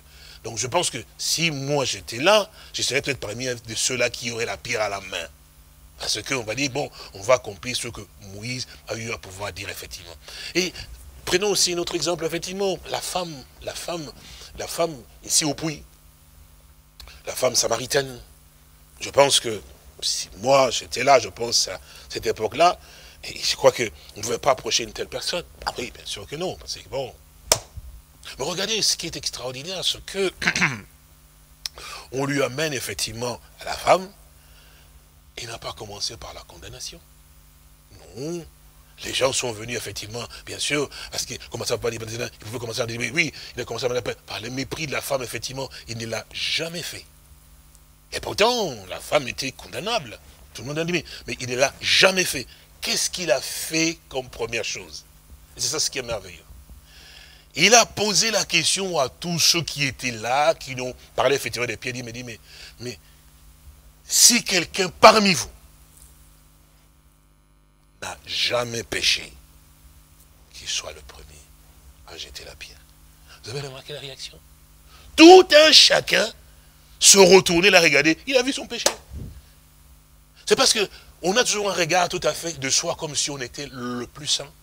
La plus sainte, effectivement, que la personne qui vient de tomber ici, c'est le plus mauvais, c'est le plus C'est ça, en fait, le regard que nous faisons. Mais quand le Seigneur a posé la question, ça, c'est une chose qu'il ne pouvait jamais penser. Dis-moi, nous voulons puisse pour montrer que nous sommes effectivement... Il ne pouvait jamais penser. Mais il a posé simplement une question. Si quelqu'un parmi vous, parmi vous, n'a jamais péché, il n'avait pas, demandé, si quelqu'un parmi vous n'a jamais commis l'adultère. Parce qu'il faut bien lire, hein. Ah il faut bien lire, hein. Il dit, mais si quelqu'un parmi vous n'a jamais péché, ah ben, qu'il soit le premier à jeter la pierre. Parce a beaucoup de gens qui entendent ça, disent, oui frère, mais j'ai dit, mais ceci démontre effectivement que Dieu est Dieu. Et quand vous avez Dieu dans votre vie, dans votre cœur, frère et ça, vous ne condamnez plus personne. Vous vivez pour que ces personnes-là puissent aussi vivre, en fait. Parce que votre vie, vous avez réalisé d'abord quoi? La grâce profonde. Quand je vois des gens qui sont déjà, oh oui, tel, oh ceci, effectivement, avec des regards méprisants, ne soyez jamais plus comme ça. Soyez miséricordieux. Vous connaissez l'écriture qui, dans euh, comme les élus de Dieu. C'est une prédication qui date longtemps. Hein. Comme les élus de Dieu. lisons ça rapidement. Et puis nous revenons vite dans Jean 17. Aujourd'hui, je, prends le temps parce qu'il n'y a pas de, gens qui sont pressés dans... Tout, tout le monde est en connexion. Alors, puisqu'ils sont chez eux en connexion à la maison, ils ont du temps. Donc, euh, je peux prendre du temps. Ici aussi, donc, hein, que le Seigneur le bénisse. Alors, nous étions parlant donc des Colossiens. Colossiens, effectivement, et, euh, je pense que c'est cela, oui, euh, au chapitre 3, Colossiens chapitre 3, et puis nous revenons dans Jean 17. Colossiens 3, et revenons donc dans Jean 17, sur cette Colossiens 3, verset 12, il dit, Ainsi donc, ainsi donc, comme des élus des dieux, saints et bien-aimés. Vous entendez ça, non? Les élus des dieux, saints et bien-aimés. Dit que, et quand on parle des saints, dit que les gens là qui aiment tellement le Seigneur et auxquels le Seigneur a parlé, parce qu'ils n'ont que l'amour de Dieu, mais revêtez-vous de quoi?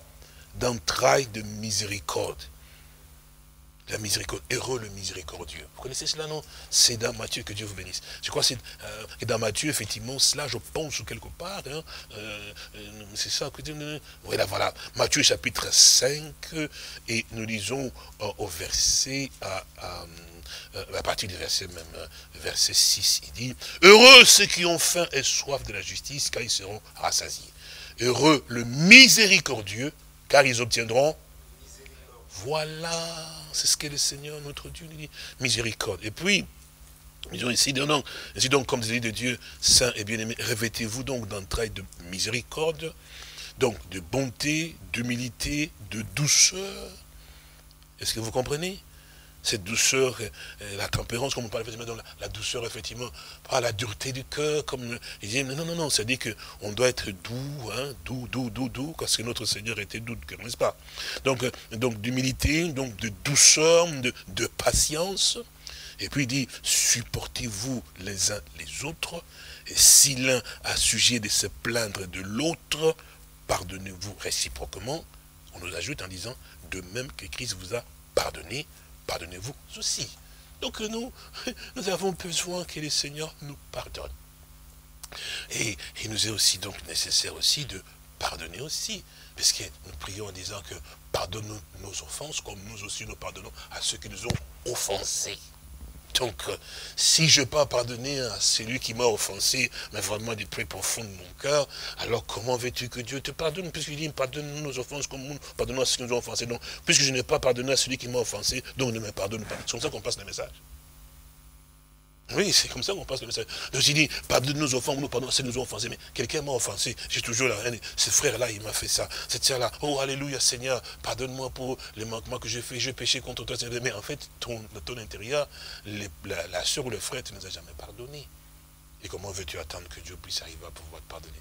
C'est ce qui est important. Donc, ça veut dire qu'on doit savoir ce qu'il en est quand on s'adresse à Dieu. Donc, nous comprenons qu'effectivement, que là, quand Christ est notre Seigneur, parce que ici, il ne s'agit pas d'une illusion, une pensée qu'on peut arriver à pouvoir. En fait, c'est une réalité qui démontre ce que vous êtes.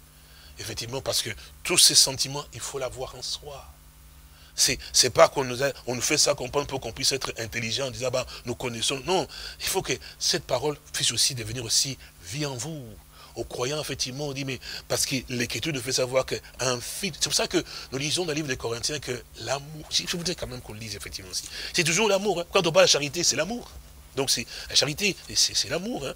1 Corinthiens 13. Et puis je reviens dans Jean 17. 1 Corinthiens 13, il, nous dit cela, hein. euh, il nous dit, il dit, mais oui, parce que dans, ma Bible, effectivement, et dans, la version que vous tous vous avez, il est parlé, de la charité. Mais dans ma Bible, effectivement, il nous dit ici, il dit, euh, verset 4, il dit, euh, l'amour est patient. Il est plein de bonté. L'amour n'est plus envieux. Bon, je lis, je dans votre euh, version ici, comme vous avez la plupart de tous ceux qui sont aussi en connexion, ils disent, dans Corinthiens, effectivement aussi en Corinthiens, ils nous disent ça, Corinthiens, chapitre 13, euh, c'est là, oui, chapitre 13 de Corinthiens, et, nous lisons à partir du verset 4, il dit, la charité est patiente. Vous avez remarqué que dans Colossiens chapitre 3, nous l'avons lu, non? Répétez-vous dans ta miséricorde, des douceurs, d'humilité, de patience. Vous connaissez, non? Ce qu'on a lu. Alors, ici, il nous dit effectivement que euh, la charité est patiente, elle est pleine de bonté. La charité n'est point envieuse. La charité ne se vante point, elle ne s'enfle point d'orgueil, elle ne fait rien de malhonnête, elle ne cherche point son intérêt, elle ne s'irrite point, elle ne soupçonne point le mal, elle ne se réjouit point de l'injustice, mais se réjouit de la vérité, elle, excuse tout, elle, elle croit tout, elle espère tout, elle supporte tout. Et la charité ne périt jamais, donc l'amour ne périt jamais. Les prophéties prendront fin. C'est-à-dire que quand nous avons cela effectivement dans notre cœur, nous savons vivre avec nos frères parce que nous savons les supporter. Nous supportons les faibles. Nous les aidons à pouvoir passer les caps de faiblesse pour devenir forts. Comme le Seigneur aussi nous supporte effectivement. C'est pour ça que parmi les enfants de Dieu, le Père de Dieu, il ne peut pas y avoir de mépris en fait ni en fait des regards tout à fait hautains à l'endroit. C'est pour ça que le jour de Pentecôte, quand ils ont vu, c'est merveilleux ces jours-là, ils ont reçu la parole de Dieu. La Bible nous dit que tous ceux, la de ceux qui avaient cru n'étaient qu'un seul cœur qu'une même âme. Personne ne pensait du mal. Non, non, non, non, non, non. Plutôt, on pensait toujours du bien pour pouvoir aider, apporter effectivement pour cela. C'est ça ce que l'évangile produit en fait dans le croyant qui est un homme, un fils de Dieu qui est né de nouveau. L'amour de Dieu saisit donc son cœur effectivement et son âme. Alors le Seigneur. Alors, ici nous revenons effectivement dans Jean 17, il dit, verset 11, nous disions cela. Verset, verset, verset, verset, verset, verset 12. Long, ah non, verset 14, avait dit non. Il dit, je leur ai donné ta parole et le monde les a haïs. Nous avons compris, parce qu'il dit, parce qu'ils ne sont pas du monde comme moi je ne suis pas du monde non plus. Nous avons compris effectivement que ce qu'il leur avait donné, mais c'est la parole pure de Dieu, donc c'est la parole, la, la, sémence, l'essence même de Dieu, effectivement, la sémence, effectivement, divine, effectivement, sans interprétation, sans rien ajouter, rien que la pure parole, rien que la parole, la parole de Dieu, pleinement la parole. Et il dit que je donnais cela, et ils ont reçu, et c'est comme ça que le monde les a donc haïs. Et puis il dit effectivement, plus bas ici, je ne t'ai pris pas de les ôter du monde, mais de les préserver du malin. Je crois qu'on comprend cela. Et ils ne sont pas du tout du monde, comme moi, je ne suis pas du monde. Parce que ils ont reçu la parole que je leur ai donnée. Puisqu'ils ont reçu cette parole, en tout cas une parole pure, effectivement, Dieu ne peut pas s'empêcher de pouvoir arriver à pouvoir faire quoi Si vous remarquez très bien, quand il est venu le jour où Jean-Baptiste baptisé, qui prêchait qu'effectivement que je ne suis pas digne, effectivement, celui qui vient après moi, il m'a précédé. Vous connaissez cela, effectivement. Et quand il a vu les seigneurs venir vers lui pour entrer dans les eaux, Jean-Baptiste a tremblé, effectivement, et dit, c'est moi qui ai besoin d'être baptisé par toi, et toi tu viens à moi. Et le Seigneur lui a dit, laissons donc accomplir toute justice, tout ce qui est écrit, effectivement, dans les Saintes Écritures. C'est à ce moment-là, quand il est rentré dans les eaux, effectivement, que là, la voix se fit entendre, voici donc mon fils bien-aimé à qui j'ai pris plaisir de pouvoir venir y demeurer et me plonger dedans, effectivement. Et alors, on nous a dit effectivement que les signes s'est dit sous la forme d'une colombe qui est descendue, là, effectivement, qui a pris position, effectivement. Donc, c'est-à-dire que là, aucune chose ne pouvait empêcher Dieu de pouvoir tabernacler maintenant dans les vases, effectivement, comme il dit que nous sommes le temple du Saint-Esprit, du Dieu vivant. Rien, parce que il était donc la parole venue comme la parole l'a voulu, effectivement. Et il a accompli, quand il est arrivé sur il pouvait pas, il a fait ce que la parole aussi voulait qu'il fasse. Alors Dieu dit, mais vraiment, je prends plaisir à, cela. C'est pour ça que quand il a prié pour ses disciples, il a dit, mais Seigneur, il dit, mais je vais redonner la parole que tu m'as donnée. Ils l'ont reçue, effectivement. Ils l'ont cru, effectivement. Qu'est-ce qui s'est passé, effectivement? Quand on croit en lui, un péché les voix s'est déversé en lui, et eh bien la même chose aussi, qu'il ne pouvait pas manquer d'avoir le baptême du Saint-Esprit. Dieu ne pouvait pas refuser de pouvoir descendre. C'est pour ça qu'il a dit, mais attendez, parce que là, ça ne va pas manquer. Est-ce que vous avez, vous avez compris? Donc, ça ne va pas manquer. Pour quelle raison? Parce que ce que vous avez reçu, c'est ce que le Père m'a donné, comme le Père m'a donné à moi-même, parce qu'il dit les paroles que je dis, ce ne sont pas mes paroles, mais j'ai gardé ces paroles, effectivement. Il, s'est donc déversé en moi. C'est pour ça qu'on dit que mm, Dieu, était en Christ. J'aime beaucoup cela, réconcilier le monde avec lui-même. Donc Dieu s'est déversé en Christ, et Christ s'est déversé dans son Église. Donc effectivement, puisque c'est la même parole, et Dieu a pris plaisir maintenant de voir maintenant s'est déversé dans son Église, effectivement, par le baptême du Saint-Esprit. C'est pour ça qu'il avait prié, qu'il soit un comme toi et moi, nous sommes un. La parole. Et puis, l'Esprit, effectivement, qui s'est déversé en eux, alors il y avait vraiment une unité parfaite. Maintenant, remarquez très bien, ce qui nous fait comprendre, effectivement, verset suivant, il dit, euh, verset suivant, il dit, sanctifie-les donc par ta vérité, ta parole et la vérité comme tu m'as envoyé dans le monde, je les ai aussi envoyés dans le monde. Et je me sanctifie moi-même pour eux, afin qu'eux aussi soient sanctifiés par la vérité. Ce n'est pas pour eux seulement que j'ai prie, mais encore pour ceux qui croiront en moi par leur parole. Alors, alors là, quel est le but que, que Dieu cherchait en fait? L'unité avec, avec ses disciples, effectivement, qu'ils soient un comme toi et moi, nous sommes un, même parole, même pensée, même esprit. Et maintenant, en rapport avec ceux qui devons, parce que il avait dit, allez par toutes les nations prêcher la bonne nouvelle.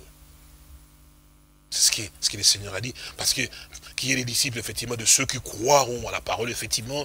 Ainsi Donc, tous ceux-là qui devront croire, effectivement, ils devaient devenir disciples, effectivement, et devenir aussi des fils de Dieu. Alors, quand on devient fils de Dieu, on ne devient pas fils de Dieu à moitié. On est fils de Dieu totalement et 100%. Et parce que si on est fils, effectivement, on doit avoir le même DNA, c'est-à-dire que la même nature que les pères. Donc quand on est né de quelqu'un, on prend le DNA, comme vous le savez, effectivement, on regarde, c'est 100% la même personne. Alors pour qu'il soit un, il faut qu'il puisse avoir la même sémence. Donc, maintenant, ceux-là sont devenus un par la parole. Mais je ne prie pas non seulement pour eux, mais pour ceux qui croiront en moi par leur parole. C'est écrit ici, hein. Elle est très bien. Et je vais verser suivant, dit, euh, voilà. Ce n'est pas pour que je prie seulement, mais encore pour ceux qui croiront en moi par leur parole, afin que tout soit un comme toi, Père, tu es en moi, et comme je suis en toi, afin que eux aussi soient un en nous, pour que le monde croit que tu m'as vraiment envoyé. Donc, il, fallait qu'effectivement, que la même parole qui a produit l'unité dans les croyants, les disciples, les apôtres, effectivement, avec Dieu et, et, et, avec Christ, effectivement, cette même parole qui a créé cette unité, effectivement, pour qu'ils soient un avec Dieu, effectivement, les apôtres, effectivement, cette même parole puisse aussi arriver à pouvoir aussi produire en fait le même effet. Mais pour que cela soit produit le même effet, eh ben, ce n'était pas aux hommes de pouvoir arriver à pouvoir prêcher la parole avec leur façon de pouvoir voir ou de comprendre les choses, il fallait que celui qui donne la vie puisse continuer son travail et utiliser maintenant des vases, des, comme des micros qu'on a ici, pour que sa voix soit entendue. C'est pour ça que le peuple de Dieu comprend et doit comprendre qu'effectivement que l'Écriture nous dit que le Seigneur a dit, mes brebis entendront ma voix. Il n'a pas dit que les brebis entendraient la voix d'un serviteur particulier, d'un messager particulier, ou de ceci. Il a dit, non, non, non, non, mes brebis à moi entendront ma voix. Ça veut dire que le Seigneur, les hommes meurent, mais il pas encore de couverture, enfin des vases effectivement dans lesquels lui-même, lui-même pas le prédicateur. C'est pour ça que l'homme ne peut pas dire, moi j'ai envie de pouvoir prêcher ceci, je peux parler ceci. Vous voyez, parfois on ne peut pas, on dit que on vient, le Seigneur change tout. Parce que ce n'est pas à l'homme de pouvoir vouloir donner au peuple de Dieu ce qu'il a envie de pouvoir donner. Non, parce que le peuple ne lui appartient pas. Le peuple appartient au Seigneur. Et le Seigneur, comme il est vivant, il veut continuer à pouvoir lui-même prêcher jusqu'aujourd'hui.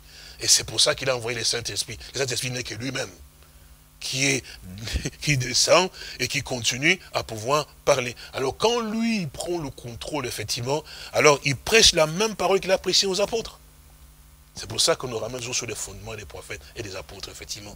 Parce qu'ils n'ont donné que ce que le Seigneur, notre Dieu, nous a donné. Pour quelle raison? Pour que nous puissions avoir la même nature. C'est pour ça que quand on écoute des prédications qui sont tellement... Ça peut plaire, effectivement, aux gens. Hein. Ça peut montrer qu'effectivement, que, et c'est très bon, effectivement, ça ne vous amènera jamais dans la présence de Dieu, en fait. C'est pour ça que tous ces hommes qui s'élèvent aujourd'hui, ah, je suis prédicateur, et ceci, cela, comme vous le savez, effectivement, l'habitude, effectivement. C'est pour ça que, c'est vrai, ils peuvent avoir cette euh.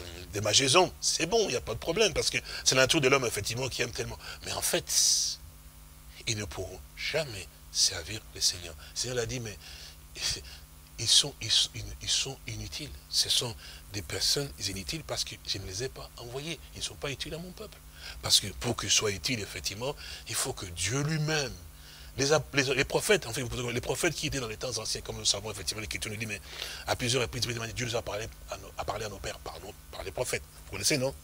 Eh bien, de quelle manière les prophètes parlaient? Les prophètes venaient comme ça, ils sortaient comme ça, et dit, bon, j'ai désir vous parler de, de, ceci, de ce que Dieu euh, aurait voulu vous parler, effectivement. Jamais. Quand, quand il venait, effectivement, il disait quoi? Ainsi parle l'éternel. Donc quand c'est ainsi par l'éternel, nous sommes tout oui. On sait que ce n'est pas Isaïe qui parle. On sait que ce n'est pas Amos qui parle. On sait que c'est Dieu qui nous parle. Alors quand nous croyons, c'est que Dieu nous a dit, c'est terminé. C'était ça en fait. Et ce Dieu n'a pas changé sa façon de faire. Comme il a fait avec les prophètes dans le temps ancien. Oui, maintenant, effectivement aussi, qu'est-ce qu'il a fait, effectivement? Ben, Il a dit, pour le corps de Christ, lui-même. C'est pas que euh, l'Église a choisi, l'Église a voté. Parce que les églises votent aujourd'hui, vous comprenez cela? Dieu n'a pas dit que l'église, donc le corps de Christ va voter. il dit non, non, non. il dit, mais c'est dans Ephésiens au chapitre 4, hein, et, la Bible nous fait comprendre, nous pouvons les lire avec vous, Ephésiens au chapitre 4, le verset 11, euh, euh, c'est cela qui nous dit effectivement cela. Il nous dit, ah, nous pouvons lire avec vous ici verset 7 d'abord, il dit, mais à chacun de nous, la grâce a été donnée selon la mesure du don de Christ. C'est pourquoi il est dit, étant monté dans les hauteurs, il a amené euh, captif de la captivité et il a fait des dons aux hommes. Or, que signifie il est monté? Il est bien parlé du Seigneur, hein pas de quelqu'un d'autre. Qu'est-ce qu'il est monté Sinon qu'il est aussi descendu dans les régions inférieures de la terre? Toujours du Seigneur. C'est lui qui est descendu, c'est le même qui est monté au-dessus de tous les cieux fait de remplir toutes choses. Ce n'est pas un frère, ce n'est pas un homme, c'est Dieu, c'est le Seigneur lui-même. Et puis il continue, mais il a, pas l'Église, hein, et puis, et il a, c'est lui, hein, et il a donné les uns comme. Ce n'est pas par, par, les votes, effectivement, que les églises aujourd'hui, on me dit, maintenant, bon, nous devons nous rassembler pour pouvoir voter, et puis bon, soit on fait les études universitaires, tout ça. Je n'ai pas vu cela, en fait. Il dit, il a donné les uns comme. Donc, c'est lui qui fait des dons à son église. Et c'est lui qui choisit effectivement des hommes que lui a eu à pouvoir voir quand il a regardé, par exemple, dans le monde, il t'a vu toi, mon frère. Il n'a pas pris l'autre. Toi, ma soeur, il n'a pas pris quelqu'un d'autre. Il t'a pris toi, en fait. Pour quelle raison? Parce que avant même que tu sois né, Dieu avait déjà mis ce qui était nécessaire dedans de toi pour que tu puisses accomplir effectivement la tâche que toi, tu dois accomplir. Pas quelqu'un d'autre, mais toi. C'est pour ça que nous l'avons entendu, je pense, soit mardi ou, dit effectivement que personne ne peut prendre ta place. Chacun de nous est spécifique et aux yeux de Dieu, effectivement, il est spécial, il est particulier, comme la particularité de tous les doigts que nous avons, effectivement, bien que ce soit les doigts, mais chaque, chaque doigt a sa particularité. Mais chacun de nous a ce que le Seigneur pouvoir lui donner, effectivement. Donc, effectivement, là, il a choisi, il a donné les incomes. Pour quelle raison? Parce qu'en fait, de la même manière qu'il a choisi les prophètes, effectivement, par lesquels il pouvait parler, maintenant, il veut parler, effectivement, aussi au travers, effectivement, des vases qui s'est choisi, en fait, des hommes. Et qui fait que nous aussi, en tant qu'enfants de Dieu, c'est pour ça que nous avons remarqué qu'effectivement, que dans les Saintes Écritures, les jours de la Pentecôte, le Saint-Esprit est descendu comme des langues de feu, effectivement, qui s'est reposé sur le croyant, les véritables croyants. Et on nous parle aussi que nous, qui sommes enfants de Dieu, Nous devons avoir le Saint-Esprit, effectivement. Parce que c'est Dieu doit habiter en toi aussi pour pouvoir te conduire. Parce que tu deviens maintenant une partie de la parole de Dieu. Parce que quand le Seigneur se met à pouvoir parler, il faut que ce qui est au-dedans de toi corresponde à ce qui est en train de sortir.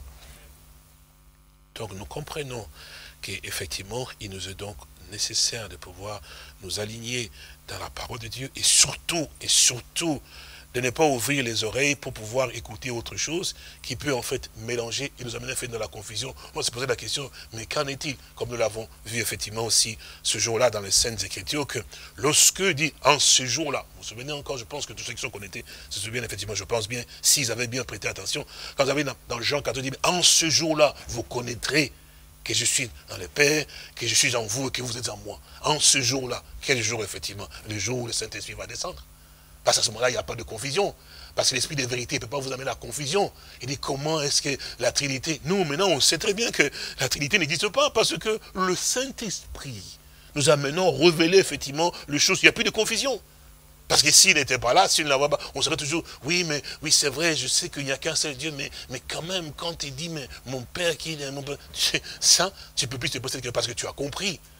Quand il dit, par exemple, il parle mon Père, c'est normal qu'il est dans la forme d'un serviteur. Donc il faut qu'il joue tout le rôle. Parce qu'il est parent rédempteur, peut-être un homme comme moi. 100% un homme, effectivement, et puis 100% Dieu. De sa façon, s'il si, est né, il doit quand même avoir un père. Dieu sait jouer tous ces rôles-là, effectivement. Parce que le Saint-Esprit, maintenant, te veut passer comme Ah, mais comment Est-ce que ceci et cela? Donc, tu as besoin du Saint-Esprit. Et quand il vient, effectivement, quand la parole est proclamée, tu, tu donnes Amen parce que tu dis gloire à Dieu, parce que c'est la chose qui fait Alléluia dans mon âme, parce que c'est la vérité. Pourquoi? Parce que le même esprit qui est là, effectivement, pour que... Alors, nous comprenons qu'effectivement, qu'il nous est absolument nécessaire de pouvoir être positionné dans les choses qui concernent Dieu, parce que nous avons aussi une place dans le plan, c'est le programme du Seigneur. C'est pour ça que l'autre fois, nous parlions ici, quand nous avions l'occasion de pouvoir nous rassembler ici, effectivement, nous disions, et nous entendions la parole qui disait effectivement que les enfants de Dieu ne se lassent pas pour écouter la parole de Dieu. Quand on a l'Esprit du Seigneur dedans de soi, effectivement, on peut rester pendant des heures écouter la parole de Dieu. Pour quelle raison en fait? Parce que on veut apprendre davantage du Seigneur. On veut que le Seigneur nous instruise effectivement. Et plus on apprend davantage, plus on devient encore davantage plus spirituel. Plus on est spirituel, plus on domine sur les choses naturelles.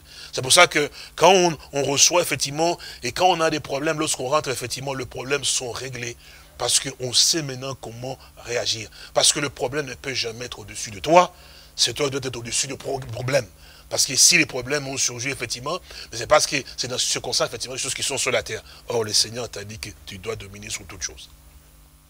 Alors nous réalisons l'importance de pouvoir réellement aussi avoir la parole de Dieu, et non pas la parole des hommes, mais la parole de Dieu. Et nous désirons simplement que ce soit cette parole divine du Seigneur dans notre cœur, dans notre âme.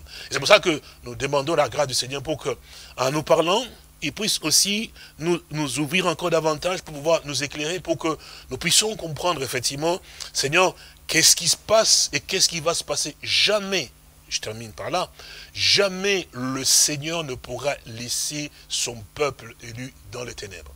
Quand quelque chose se passe sur la terre, vous savez, je disais, parce que bon, on me pose beaucoup de questions, surtout par euh, ceux qui sont donc en Guyana, comme je vous l'ai dit effectivement aussi. Euh, alors, on me pose toujours la question, quand euh, euh, ces, choses, ce virus ici est sorti, il y a eu des prophètes maintenant qui se sont levés, et voilà, c'est Dieu qui veut faire ceci, qui veut faire cela, c'est bon, beaucoup de gens sont, sortis. Alors, on m'a envoyé un, message d'une dame, je pense, je ne sais pas si c'est des prophétesses ou quoi, à laquelle elle a parlé en disant que Dieu du ciel m'a parlé. Moi, je ne méprise jamais rien quand quelqu'un dit que Dieu lui a parlé. J'ai toujours du respect.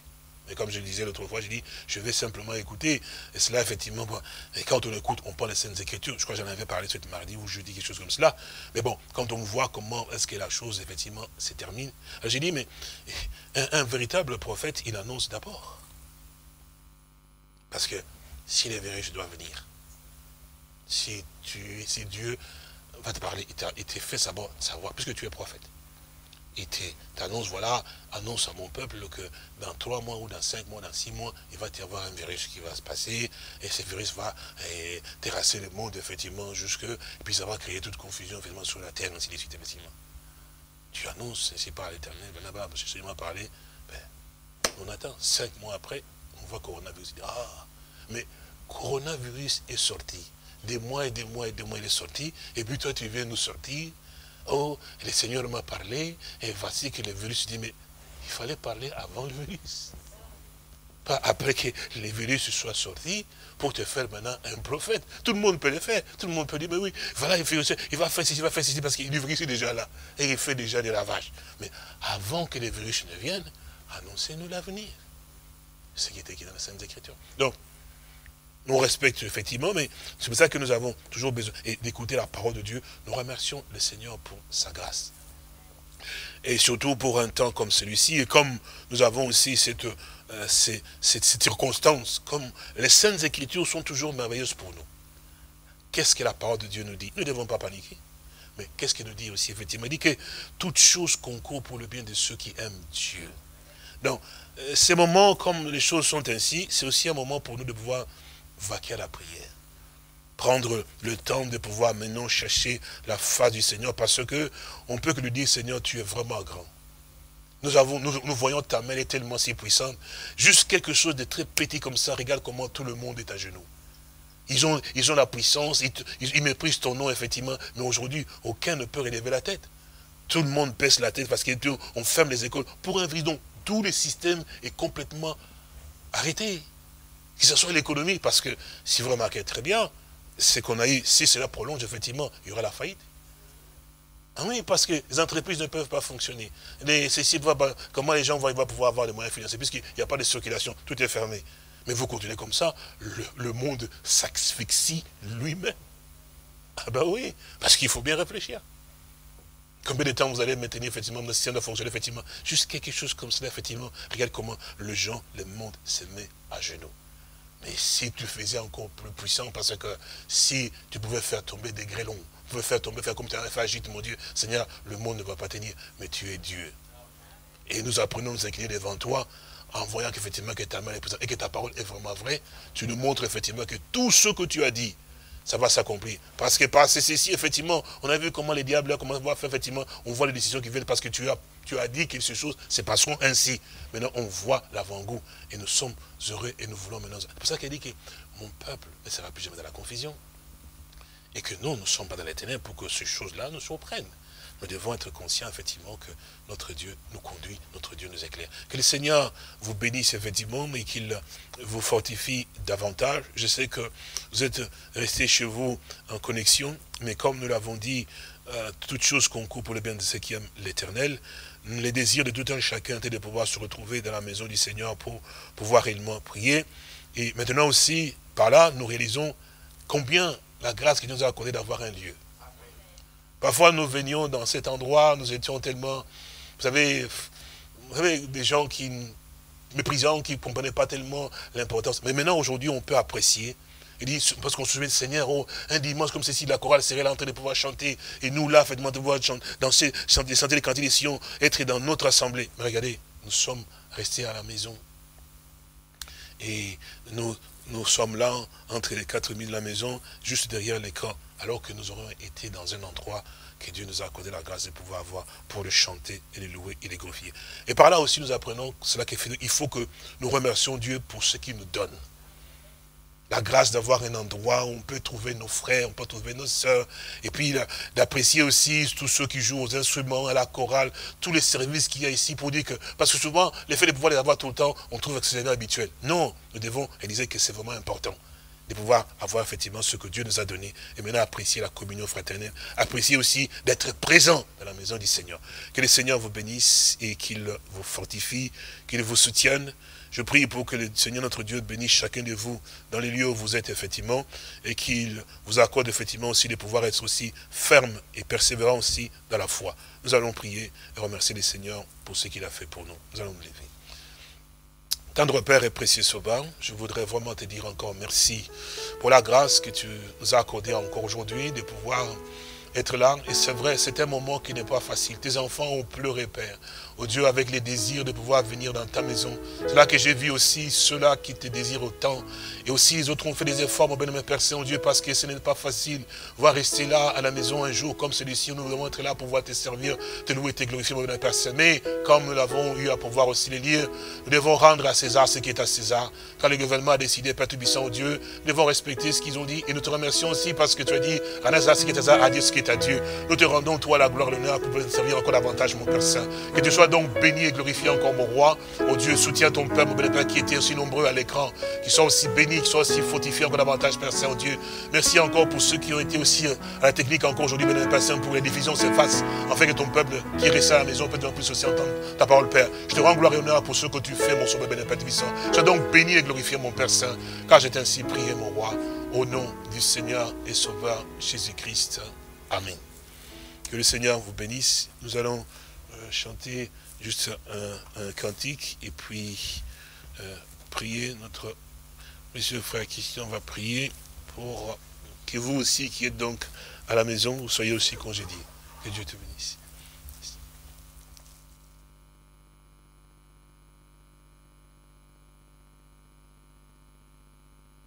Nous chantons le numéro 130 dans les fades. Voyez comment toutes les prophéties s'accomplissent sous nos yeux. 130.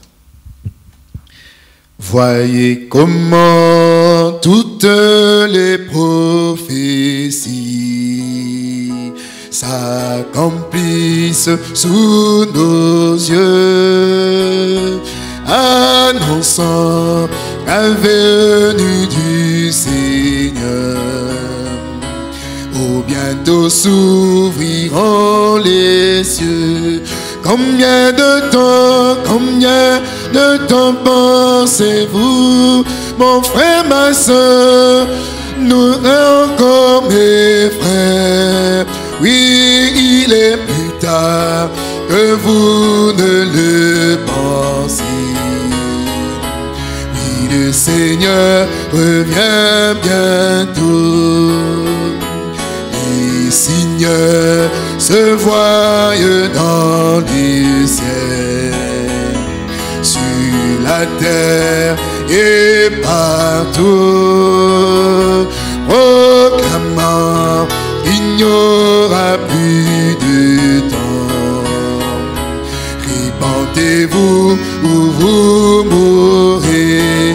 Combien de temps, combien de temps pensez-vous mon frère, ma soeur, nous encore mes frères. Oui, il est plus tard que vous ne le pensez. le Seigneur revient bientôt. Bientôt, nous serons enlevés irons à la maison de celui qui nous attend Et avec lui nous régnerons.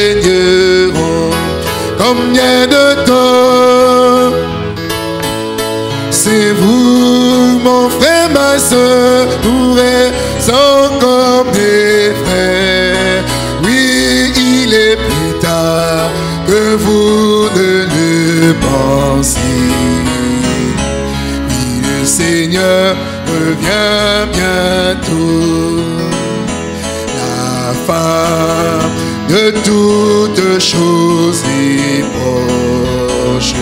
Soyez alors sages et sobres.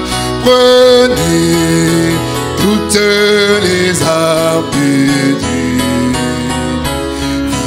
la vie de bon chrétien.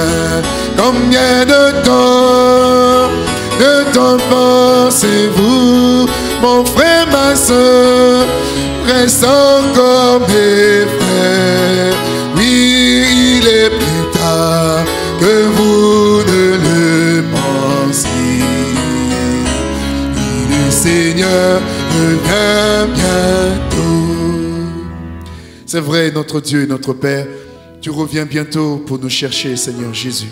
Mais avant cela, Seigneur mon Dieu, comme tu l'as promis, tu manifesteras réellement ton époux sur la terre, mon Sauveur. Nous voulons réellement rendre témoignage de ce que toi tu es, de ce que tu fais encore aujourd'hui, mon Sauveur. Merci pour ton serviteur que tu as utilisé, Seigneur, la manière dont tu l'as conduit, mon Sauveur, la hauteur, la profondeur, la largeur, Seigneur, de ce que toi tu manifestes encore comme amour pour nous, Seigneur. Tu aimes l'homme, Seigneur. Voilà pourquoi tu préviens, tu avertis, Seigneur, avant que les choses ne puissent arriver, mon Sauveur. Gloire te soit rendue, notre Dieu, parce que nous réalisons combien il est important, Seigneur, d'être à tes pieds, Seigneur. Nous réalisons combien c'est un privilège pour nous, Seigneur, de te servir, mon Sauveur. Tu as dit, mon peuple ne sera plus jamais dans la confusion. Tu nous as éclairés, tu nous as donné ta parole, qui est une lampe à nos pieds, une lumière sur notre sentier. Merci parce que chaque jour de notre vie, Père, tu nous éclaires, mon Sauveur. Bénis notre pasteur, fortifie-le. Seigneur, la tâche, elle est grande, mon Sauveur. Oh Père Céleste, continue à nous nourrir, continue à nous éclairer, Seigneur, au travers de tes serviteurs, de tes envoyés. À toi seul soit la gloire. Bénis chaque frère, chaque sœur, nos enfants, nos petits-enfants qui sont à la maison, Seigneur, devant l'écran. Seigneur, qui eux aussi, Seigneur, mon Dieu, se consacrent à toi. Nous voulons, comme ton serviteur l'a dit, en cette période, mon Sauveur, réellement, resserrer les rangs, mon Sauveur, et demeurer dans la prière, Seigneur. Nous soutenons les uns les autres, Seigneur, mon Dieu, combattant le bon combat de la foi. Seigneur, nous savons qu'en toutes ces choses, tu es plus que vainqueur. Et puisque tu es plus que vainqueur, nous aussi, nous sommes des vainqueurs. Que ton nom soit loué, que ton nom soit exalté. Dans le nom de Jésus-Christ, notre Sauveur, nous t'avons ainsi prié et remercié, Père. Amen. Que le Seigneur soit réellement béni. Vous savez, pendant que euh, je priais tout à l'heure et aussi pendant que le serviteur de Dieu a porté la parole, il y a une pensée qui m'est revenue à l'esprit. Souvenez-vous, frères et sœurs, 2020, c'est l'année je vous laisse répondre. Vous n'êtes pas là pour répondre, mais je réponds à votre place. 2020, c'est l'année des conquérants. Ne peut conquérir que celui qui est en Christ et ne peut vaincre que celui qui est en Christ. Que le Seigneur nous aide réellement. Souvenons-nous de ce que Dieu nous donne réellement par la bouche de son serviteur. 2020, année des conquérants, nous sommes en plein conquête. Et nous savons que nous avons la victoire. Que le Seigneur nous bénisse richement. Avant de pouvoir terminer la réunion, j'aimerais que nous puissions remercier le Seigneur pour une année de plus qu'il a accordé à notre sœur Marie Chantal. Aujourd'hui, et j'ai reçu un message de notre sœur Christine que vendredi 13, c'était aussi euh, l'anniversaire. Donc Dieu a accordé une année de plus à Rachel, euh, notre enfant, la fille de notre frère Frédéric, que le Seigneur puisse réellement aussi la bénir.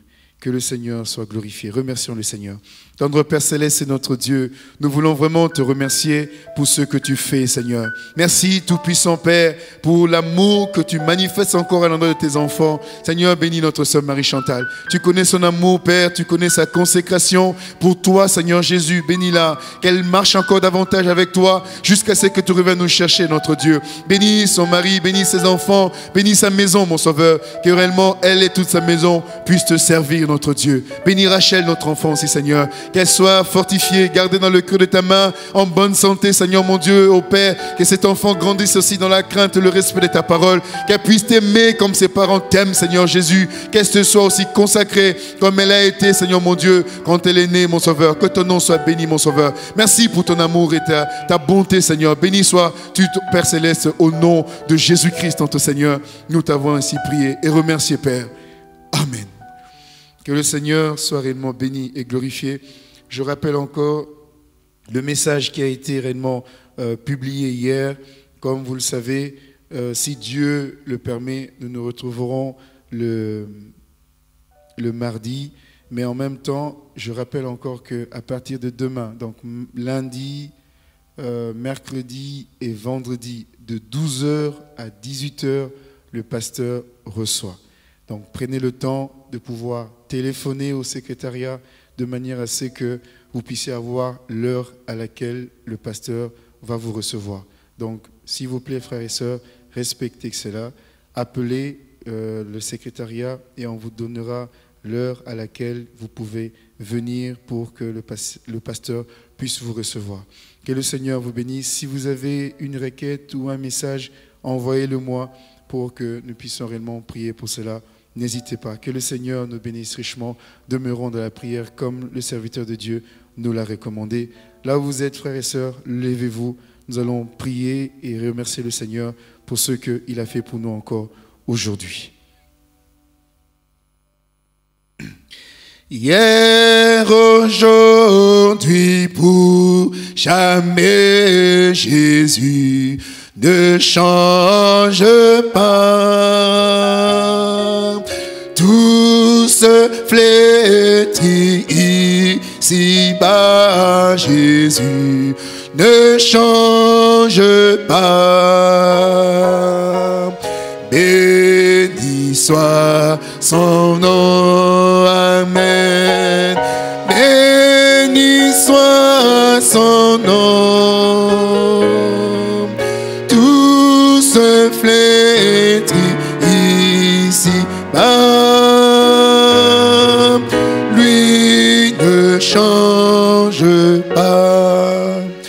ne changes pas, Seigneur Jésus. Tu demeures le même hier, aujourd'hui et éternellement. Seigneur, merci parce que tu connaissais ce jour éternel. Tu l'as voulu ainsi, notre Dieu. Oh, nous avons été bénis dans ta présence, mon Sauveur. Tu es là, Seigneur. Tu es le même hier, aujourd'hui, éternellement. Seigneur, peu importe la distance, tu es celui qui parle, tu es celui qui touche, tu es celui qui change, Seigneur mon Dieu. Tu es celui qui agit encore aujourd'hui. Seigneur, béni sois-tu parce que tu as visité nos frères qui étaient réellement en connexion, Seigneur. Oh, laisse-nous réellement t'adorer. Laisse-nous te louer, notre Dieu. Laisse-nous réellement te dire combien nous t'aimons notre Père. Seigneur, donne-nous réellement encore plus de zèle, peu importe les circonstances, Seigneur mon Dieu, des jours à venir, mon Sauveur. Et nous regardons qu'à toi, notre Dieu. Nos yeux, nos regards sont fixés vers toi, Seigneur, car c'est de toi que vient notre délivrance. Tu es avec nous, Seigneur, que tu ne nous as jamais abandonnés. Tu es avec nous jusqu'à la fin des temps. Laisse que ton Saint-Esprit, Seigneur, conduise ton peuple, mon Dieu. Nous garde dans la foi, dans l'unité de l'Esprit, dans l'unité de la parole, dans l'unité de la foi, mon Dieu. Nous voulons réellement persévérer dans ta parole, mon Sauveur. Que cette parole de persévérance demeure dans nos cœurs, notre Dieu. Louange à toi, mon Sauveur. Bénis chaque frère et chaque sœur. Seigneur, bénis tous ceux qui ont contribué afin que cette connexion soit possible, mon Sauveur. Souviens-toi d'eux, mon Sauveur. N'oublie personne, mon Sauveur. Bénis nos familles, bénis nos enfants, tous nos frères et sœurs qui sont dans le, le, le monde entier, Seigneur. Qu'ils soient bénis, qu'ils soient fortifiés, Seigneur, mon Dieu. Dans le nom de Jésus-Christ, notre Seigneur. Bénis notre pasteur, soutiens-le, Père. La tâche, elle est grande, Seigneur, même pour les consultations qu'il aura tout au long de la semaine, mon Sauveur. Oh Père, mets en lui les paroles, Seigneur mon Dieu, de fortification, d'exhortation, d'encouragement, Seigneur mon Dieu, afin que ton peuple soit davantage affermi. À toi la gloire, notre Dieu. À toi la puissance, autorité à jamais. Dans le nom de Jésus-Christ, notre Sauveur, nous t'avons prié et remercié, Père. Amen. Que le Seigneur soit réellement béni. À mardi, Dieu voulant.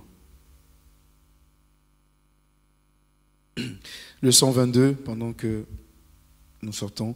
Ce monde n'est pas chez moi, je suis juste un passant. Et mes trésors sont à ceux quelque part là au ciel. Les anges me font signe depuis la porte du ciel et je ne me sens jamais comme chez moi dans ce monde. Seigneur, Seigneur, tu sais qu'à point d'amis comme toi, si le ciel n'est pas chez moi, alors que ferai-je Les anges me font signe depuis la porte du ciel et je ne me sens jamais comme chez moi dans ce monde tous sont à mon attente, c'est tout ce que je sais. Il y a longtemps avec Christ, j'ai bien tout arrangé. Bien que faible et pauvre, je sais qu'il me soutient et je ne me sens jamais comme chez moi. Oh oui Seigneur, Seigneur tu sais, il a point d'amis comme toi le ciel n'est pas chez moi, alors que ferais-je Les anges me font signe depuis la porte du ciel et je ne me sens jamais comme chez moi dans ce monde. Dans le pays de gloire, nous vivrons à jamais tous côtés les saints, qui victoire dans des chants de la plus douce louange qui monte depuis le ciel et je ne me sens jamais comme chez moi. Oh oui Seigneur, Seigneur tu sais, y a point d'amis comme toi. Le ciel n'est pas chez moi, alors que ferais-je? Les anges me font signe depuis la porte du ciel et je ne me sens jamais comme chez moi. Non. Oh oui Seigneur, Seigneur tu sais, y a point d'amis comme toi. Si le ciel n'est pas chez moi, alors que ferais-je Les anges me font signe depuis la porte du ciel et je ne me sens jamais comme chez moi dans ce monde.